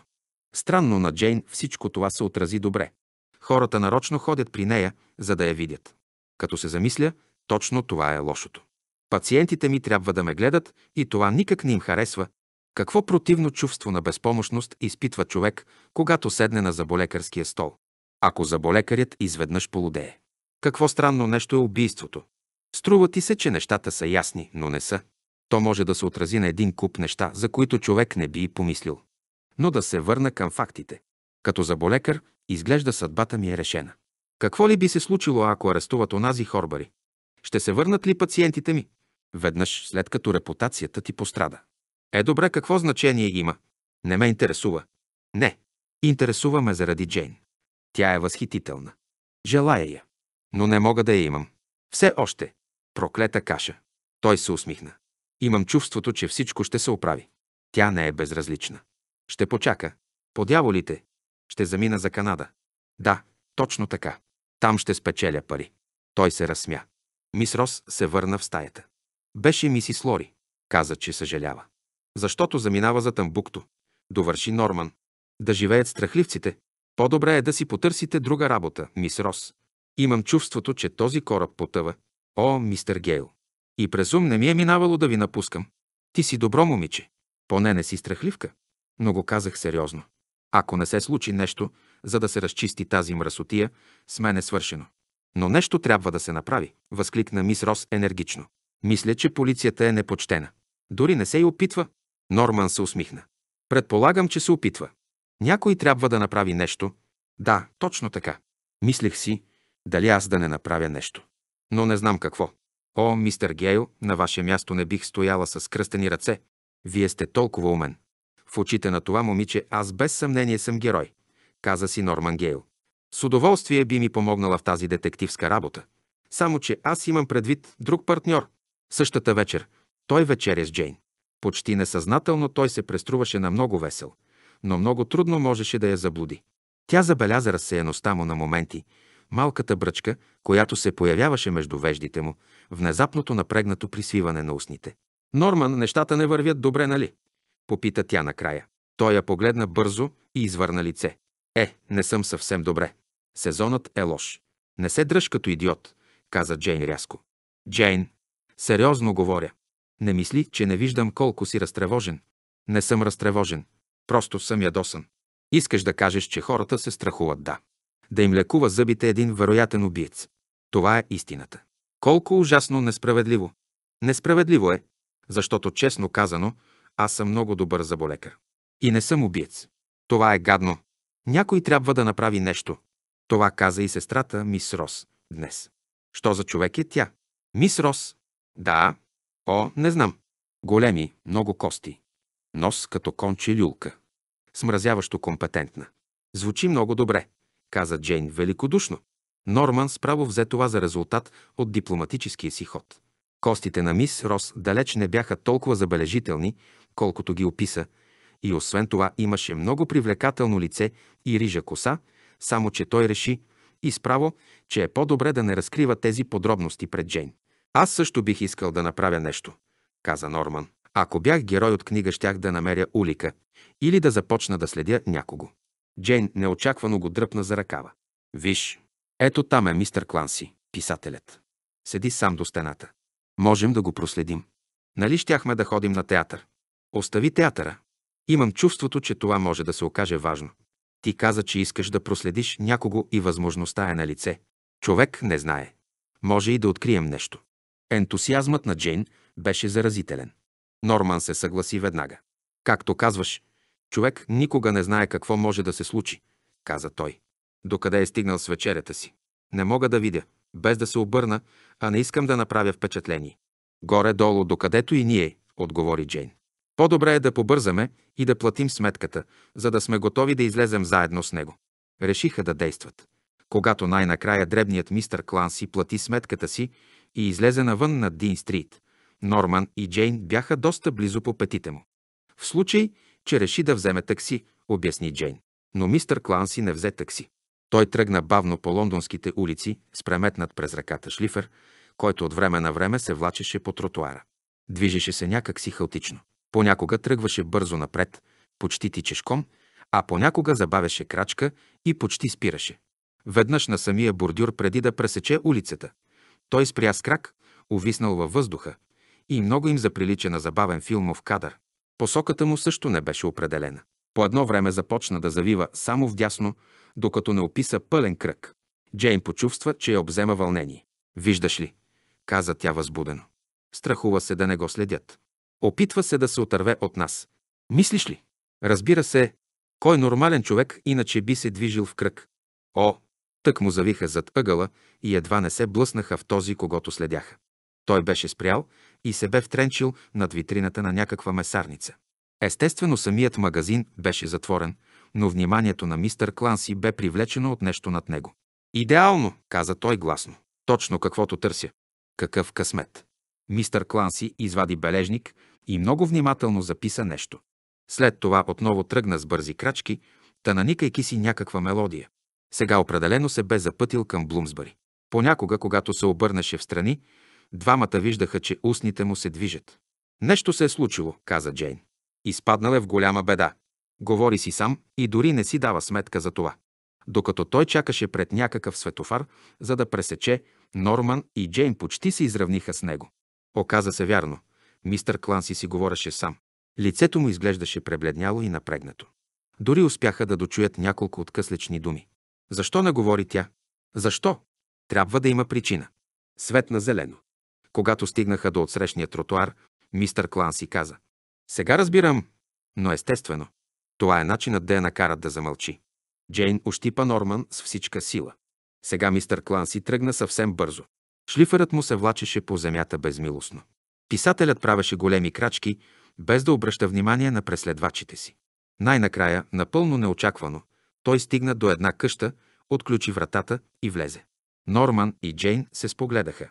Това е неговата къща, каза Норман. Кардингтън Скуер, 47. Този адрес даде при предварителното следствие. Е, добре, отвърна Джейн. Може би след малко ще излезе отново. И в края на краищата ние чухме нещо.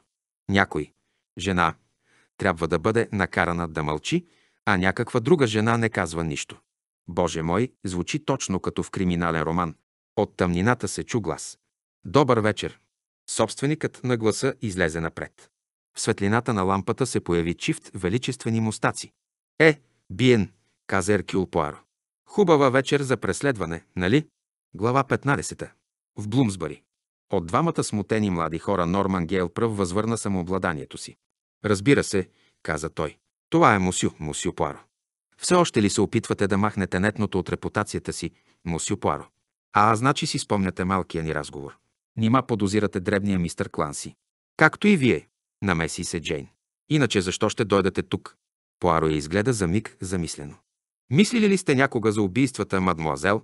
Искам да кажа хладнокръвно, безпристрастно. Струва ми се, че никога не съм мислила за нещо такова. Поне до неотдавна, отговори Джейн. Еркюл Пуаро кимна. Да, сега мислите за това, защото сте лично засегната. А аз се занимавам с престъпления от много години. Изработил съм си свой собствен начин да гледам на нещата. Кое според вас е най-важното нещо, когато трябва да се разкрие убийство? Да се намери убиецът, отговори Джейн. Справедливостта, добави Норман Гейл. Пуаро поклати глава. Има поважни неща от откриването на убиеца. Справедливост е хубава дума, но понякога е трудно да кажем какво точно означава тя. Според мен най-важното е да се свалят всякакви подозрения от невинните. О, естествено, каза Джейн. Не ще и дума. Ако някой е несправедливо обвинен. Дори не и това. Може да няма никакви обвинения. Но докато не се докаже без никакво съмнение, че някой е виновен, всички свързани по един или друг начин с убийството ще страдат в една или друга степен. Колко вярно е това, каза натъртено Норман Гейл. Нима не го изпитахме сами, допълни Джейн. Пуаро погледна единия, после другия. Значи вече сте започнали да изпитвате верността на думите ми на свой гръб. Той изведнъж забърза. А сега трябва да свърша една работа. Тъй като тримата имаме обща цел, нека обединим усилията си. Смятам да посетя нашия изобретателен приятел, мистър Кланси. Предлагам мадмуазел да ме придружи като моя секретарка. Ето ви един бележник и молив мадмуазел, за да стенографирате. Но аз не владея стенография. Предполагам, че не владеете. Но имате бърз ум, интелигентност. Можете да правите дръскулки по листа, които да напомнят стенография, нали? Добре. Предлагам мистер Гейл да ни чака след един час на горния етаж в Монсеньор. Добре. Тогава ще поговорим. И веднага след това Пуаро отиде до звънеца и го натисна. Джейн го последва леко замаяна, стиснала в ръка бележника и молива. Гейл отвори уста, за да възрази, но след това премисли и се отказа. Добре, каза той. След час в Монсеньор. Вратата отвори една доста навъсена възрастна жена, облечена в черно. Мистер Кланси, попита Пуаро. Тя се отдръпна и двамата с Джейн влязоха. За кого да предам, сър? За Еркюл Пуаро.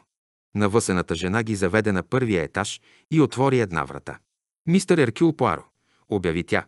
Пуаро веднага разбра до каква степен са в сила думите, които Кланси бе казал за себе си на летището, че не е подреден човек. Стаята, продълговата, с три прозореца на дългата страна, с рафтове и библиотеки по край останалите, беше в пълен хаос. Навсякъде имаше пръснати хартии, картонени папки, банани, бутилки бира, отворени книги, възглавнички от канапета, тромбон, порцеланови чаши, гравюри и изумително множество автоматични писалки. В центъра на тази бъркотия мистър Кланси се бореше с някакъв фотоапарат и касетка с филм. Боже мой, възкликна мистър Кланси, когато обявиха за посетителите. Той остави фотоапарата и касетката с филма изпадна от него. След това тръгна към тях с протегната ръка.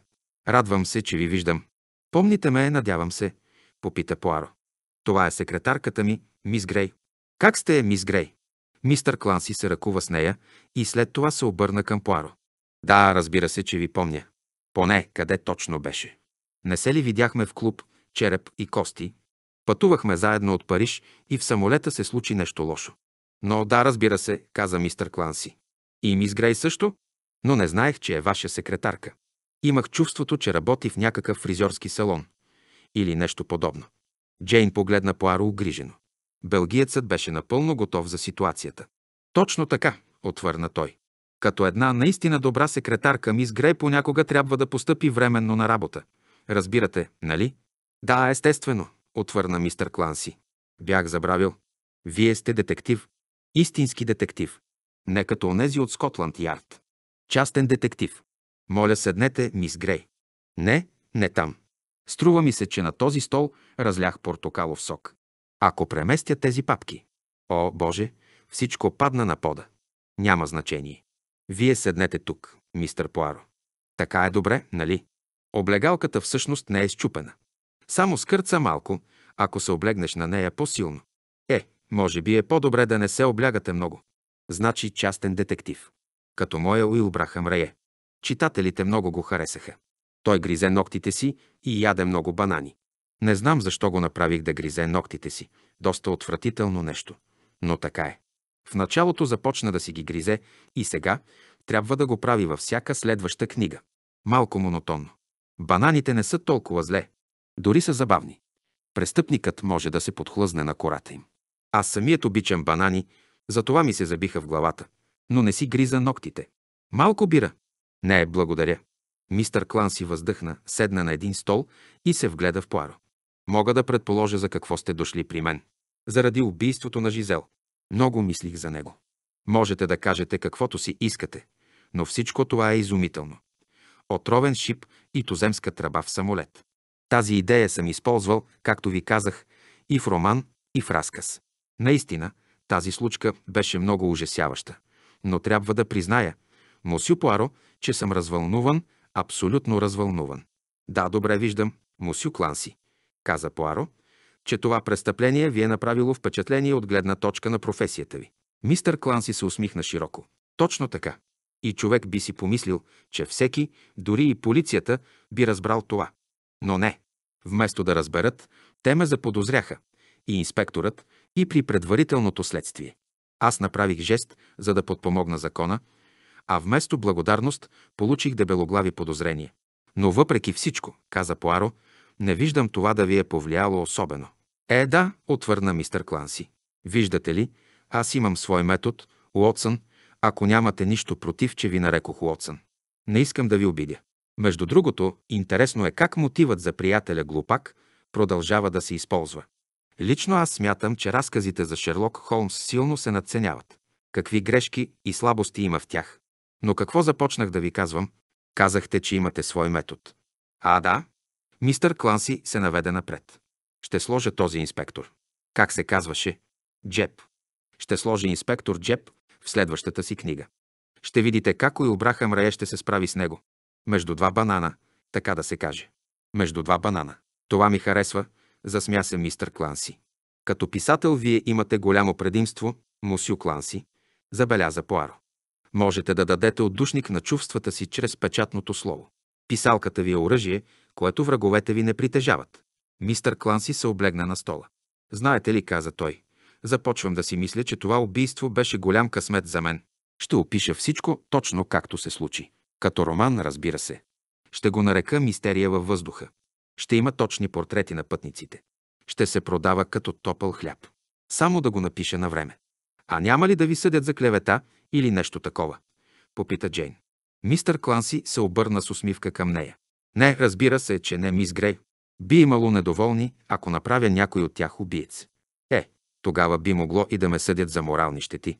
Но това е най-силната част от романа. Развръзката е абсолютно неочаквана. Поаро се наведе напред. И каква е развръзката?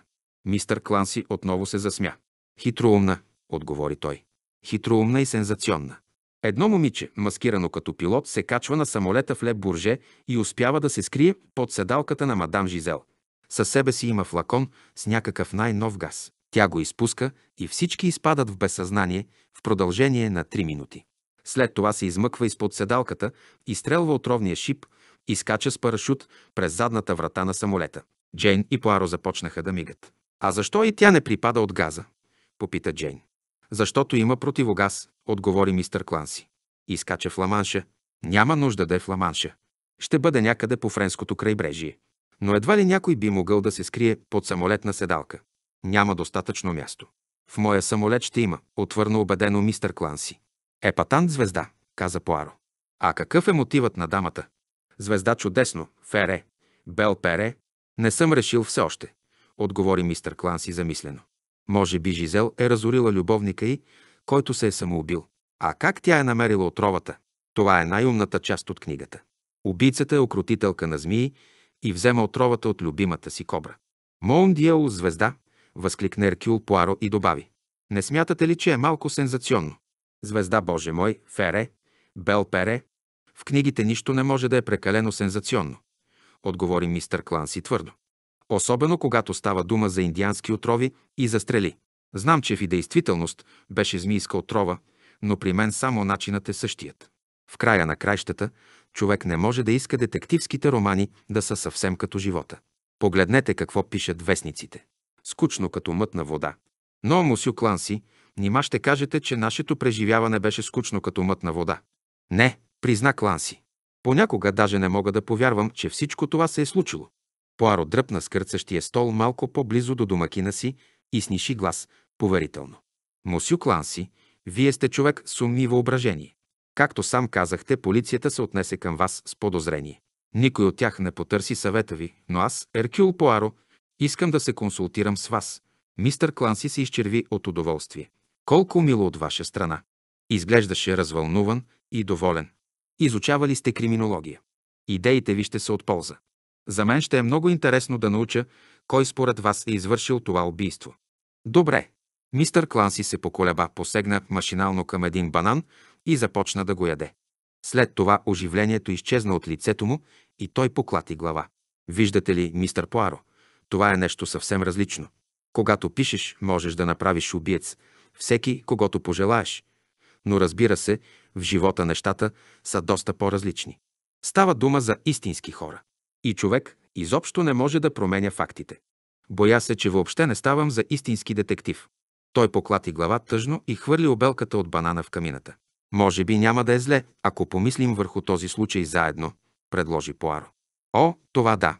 Най-напред, ако трябваше да намерите отговор, кого бихте посочили? Вероятно единия от двамата французи. А защо? Ами убитата беше французойка. Някак си ми се струва по-вероятно. И двамата седяха недалеч от нея, от другата страна на пътеката. Но разбира се, не мога да съм сигурен. Толкова много зависи от мотива, отбеляза Пуаро замислено. Естествено. Предполагам, че вие проследявате всички мотиви много щателно. Моите методи са малко старомодни. Следвам правилото търси този, който би се облагодетелствал от престъплението. Това е добро правило, съгласи се мистър Кланси. Но ми се струва, че в случай като този е малко трудно приложимо. Мадам Жизела е имала дъщеря, която наследява парите й, доколкото разбрах. Но сред пътниците има и други, които биха спечелили от смъртта й. Ако са й дължали пари, след това не би имало нужда да ги връщат. Така е, съгласи се Пуаро. А и никакво друго решение не ми идва на ум. Да предположим, че мадам Жизел е знаела нещо. Да кажем, за някакъв опит за убийство. Предприят от някой от пътниците. Опит за убийство, възкликна мистер Кланси. А защо опит за убийство? Какво странно предположение. В случай като този, каза Пуаро, човек трябва да предполага всичко. О, отвърна писателят. Но от предположенията няма полза. Човек трябва да е сигурен. Имате право, имате право. Много точна забележка. И след това добави. Тази туземска тръба, която сте купили. Подяволите тази тръба, възкликна мистер Кланси. Ще ми се изобщо да не я бях споменавал. Казахте, че сте я купили от някакъв магазин на Черинг Кросроуд. Спомняте ли си случайно името на този магазин? Ами, замисли се мистър Класни. Може би беше Апсалом. Или има един Митчел и Смит. Не знам, но аз вече казах всичко на онзи противен инспектор. До сега трябва да е проверил всички магазини. Може би. Но аз питам поради съвсем друга причина. Желая да купя такова нещо, за да направя един малък експеримент. А, разбирам. Но въпреки това не съм сигурен, че ще намерите. Това не е серийно производство, знаете. Все едно, мога да опитам. Мис Грей, моля ви, запишете тези две имена. Джейн отвори бележника и бързо надраска няколко професионални, както се надяваше, завранкулки.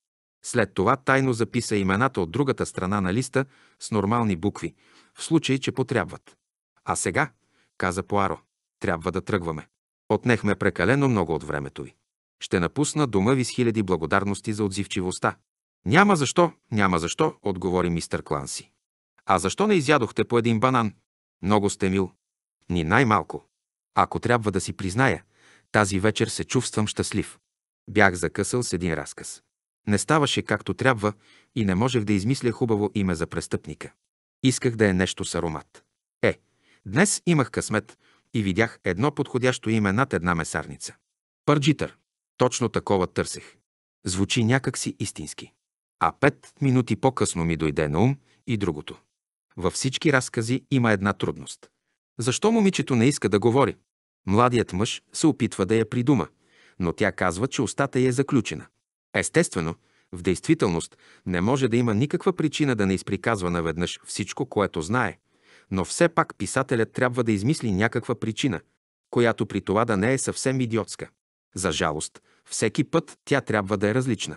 Той се усмихна мило на Джейн. Мъките на писателя. След това мина покрай нея и отида до една библиотека. Позволете ми да ви подаря нещо. Върна се с книга в ръка. Уликата на аления лист. Струва ми се споменах, че това е книгата, в която описвам убийство с отровен шип и тръба. Хиляди благодарности. Много мило от ваша страна. Няма защо, отговори мистър Кланси и рязко се обърна към Джейн. Виждам, че не използвате стенографската система на Питман. Джейн стана алено червена. Поаро и се притече на помощ. Мис Грей е много съвременна секретарка. Тя използва най-новата система, създадена в Чехословакия. Така ли? Какво изумително място трябва да е Чехословакия? Изглежда всичко се внася оттам. Обувки, стъкло, ръкавици, а сега и стенографска система. Наистина изумително. Той се ръкува и с двамата. Ще ми се да можех да помогна повече. Оставиха го в разхвърлената стая, загледан в гърбовете им и усмихнат замечтано. Глава 16. План за действие. От къщата на мистър Кланси до Монсеньор отидоха с такси. Там ги очакваше Норман Гейл. Пуаро поръча бульон и печено пиле. Е, попита Норман. Как мина? Мис Грей се оказа първокласна секретарка, отговори Пуаро. Не мисля, че се справих чак толкова добре. Намеси се Джейн. Той забеляза драсканиците ми, когато мина зад мен. Струва ми се, че е много наблюдателен. Значи сте забелязали това. Добрият стар Мусю Кланси не е толкова разсеян, колкото изглежда. Наистина ли ви трябваха тези адреси? Попита Джейн. Може да се окажат полезни. Да, но ако полицията... Ах, да, полицията. Но аз няма да задам същите въпроси, които е задала полицията. Макар че, честно казано, съмнявам се изобщо дали са задавали въпроси. Виждате ли, те знаят, че туземската тръба, намерена в самолета, е купена от американец в Париж. В Париж от американец. Но сред пътниците нямаше никакъв американец. Поаро и се усмихна мило. Точно така. Сега вече имаме и американец, за да се усложнят нещата още повече. Ето това е. И е бил мъж? Попита Норман. Поаро го изгледа озадачено. Да, отговори той. Трабата е купил мъж. Сега пък Норман придоби озадачен вид. Както и да е, каза Джейн. Не е бил мистър Кланси. Той вече има една такава траба, защо ще му да купува още една? Поаро кимна. Точно така трябва да действаме. Ще подозираме всички и след това ще заличаваме невинните от списъка. А колко са заличени до сега? Попита Джейн. Не толкова много, колкото може би си мислите, мадмуазел, отговори Поаро и премигна. Виждате ли, всичко зависи от мотива. Имало ли е? Норман Гейл замълча и след това добави притеснено. Не искам да си пъхам носа в някакви тайни, но няма ли документи за дейността на тази жена? Поаро поклати глава. Цялата й документация е изгорена. Жалко. Да, наистина. Но изглежда, че мадам Жизел наред с даването на заеми е събирала и злепоставяща информация за клиентите си, за да си гарантира връщането им. А това вече разширява възможностите. Ако предположим, че мадам Жизел е научила за някое криминално престъпление. Например, опит за убийство. А има ли основания да се предполага подобно нещо? О, да, отговори Поаро бавно. Има. Единственият писмен документ, с който разполагаме по този случай. Той погледна за интригуваните лица на двамата и въздъхна. Е, добре, изрече Поаро след малко. Това е положението. Хайде да поговорим за нещо друго. Например, как се отрази тази трагедия на личния ви живот? Ужасно е да го кажа, но на мен ми се отрази добре, отговори Джейн и разказа как са й повишили заплатата. Да, наистина, това не е лошо, но вероятно няма да продължи дълго. Всяко чудо за три дни, както казват. Така е, съгласи се тя и се засмя. Но в моя случай чудото изглежда ще продължи повече от три дни, намеси се Норман. Той обясни какво се е случило. Пуаро го изслуша със съчувствие. Както казахте, отбеляза той замислено накрая. При вас това положение няма да трае три дни или три седмици или три месеца. Сензациите умират бързо. Но страхът не. Смятате ли, че трябва да изтърпя всичко това? А имате ли някаква друга идея? Да, мога да зарежа всичко, да замина за Канада или някъде другаде и да започна всичко от начало. Това би било много жалко, каза Джейн. Норман я погледна. Поаро тактично се зае с пилето си. Не искам да заминавам никъде, добави Норман. Ако открия кой е убиецът на мадам Жизел, няма да има нужда да ходите никъде, каза Поаро весело. Мислите ли наистина, че ще се справите? Попита го Джейн. Поаро я погледна с упрек. Ако човек подходи към някакъв проблем систематично и методично, не би трябвало да има проблем при решаването му. Никакъв, отсече Поаро. Разбирам, отвърна Джейн, без да разбира. Но бих се справил по-бързо, ако имах помощ. Каква помощ? Поаро остана мълчалив за момент. След това каза. Помощта на мистер Гейл. А може би по-късно и вашата помощ, мадмуазел. Какво мога да направя? Попита Норман. Поаро го изгледа с присвити очи. Боя се, че няма да ви хареса, предупреди той. Какво е то? настоя младият човек. Много деликатно, за да не накърни чувствата на домакините си. Поаро пусна в действие клечката за зъби. След това каза. Да си призная, трябва ми изнудвач. Изнудвач, възкликна Норман и погледна Поаро, сякаш не вярваше на ушите си. Поаро кимна. Точно така. Изнудвач. Но за какво? Ами за да изнудва. Да, но кого? Защо? Защо си е моя работа? Отговори Поаро. А кого? Той замълча за момент и след това продължи със спокоен делови глас. Чуйте плана ми. Ще напишете една бележка до графиня Хорбари, т.е. аз ще ви я продиктувам, а вие само ще пишете. Ще я означите с лично. В нея ще поискате среща с графинята. Ще се представите като човек, летял заедно с нея за Англия в определен случай. Освен това, ще споменем, че някои от делата на мадам Жизел са попаднали в ръцете ви. И какво после? После ще ви поканят на среща. Ще отидете и ще кажете някои неща. Аз, разбира се, ще ви инструктирам подробно. Ще поискате, да речем, 10 000 лири. Вие сте полудял. Ни най-малко, отговори Поаро. Може да се каже, че съм ексцентричен, но не и луд. Ами ако Лейди Хорбари се обади в полицията, ще ме вкарат в затвора. Няма да се обади в полицията. Не можете да знаете това. Моншер, на практика аз знам всичко. И освен това тази идея не ми харесва. Няма да вземете десетте хиляди лири. Ако това може да успокои съвестта ви, каза Пуаро весело. Да, но слушайте, мусио Пуаро. Това, което предлагате, може да ме опозори за цял живот. Дрън-дрън, тази дама няма да отиде в полицията. Мога да ви уверя в това. Може да каже на съпруга си. Няма да каже на съпруга си. Не ми харесва идеята. А харесва ли ви да изгубите пациентите си и да погубите кариерата си? Не, но... Поаро му се усмихна мило. Предполагам, че се отвръщавате от подобни неща. Много естествено. Освен това имате рицарски дух. Но мога да ви уверя, че Лейди Хорбари не заслужава подобно благородно отношение. Тя, както се казва, не е цвете за мирисане. Както и да е, тя не може да е извършила убийството. Защо? Защо? Защото щяхме да я видим. Аз и Джейн седяхме срещу нея. Вие сте предубеден. Аз пък искам да съм наясно с нещата. Искам да съм сигурен. Не ми допада идеята да шантажирам една жена. Ей, Мон Диел, какво ли няма на този свят? Няма да има шантаж. Просто трябва да произведете нужния ефект. След това, когато почвата е подготвена, ще се намеся аз. Ако вляза в затвора, каза Норман. Не, не, не. В Скотланд и Арт ме познават много добре. Ако се случи нещо непредвидено, аз ще поема цялата отговорност. Но, уверявам ви, няма да се случи нищо, освен това, което предвиждам.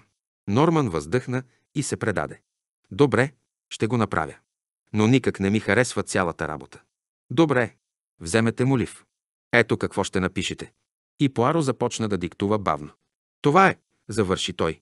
По-късно ще ви кажа какво да говорите пред графинята. Кажете ми, мадмуазел, ходите ли на театър?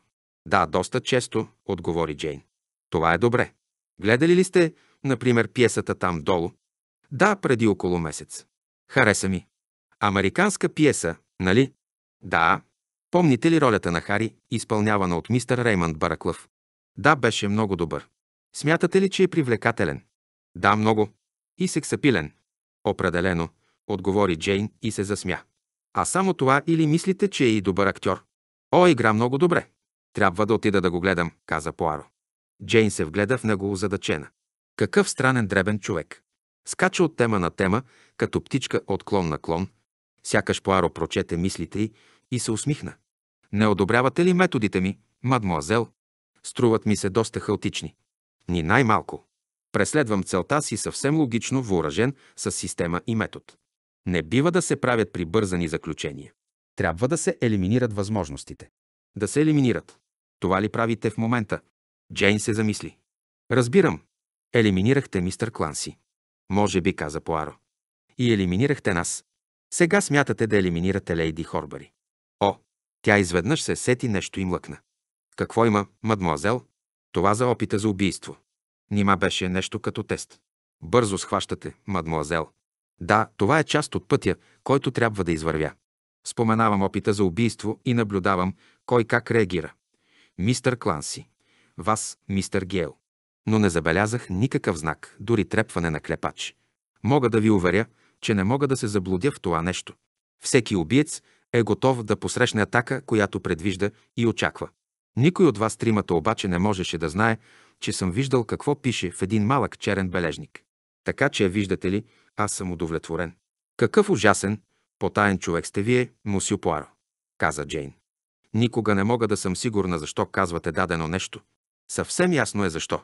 Защото искам да науча друго нещо. И сигурно знаете множество хитри начини да го постигнете. Всъщност има само един много прост начин. Какъв е той? Да оставиш хората да ти кажат каквото те интересува. Джейн се засмя. Ами ако не искат.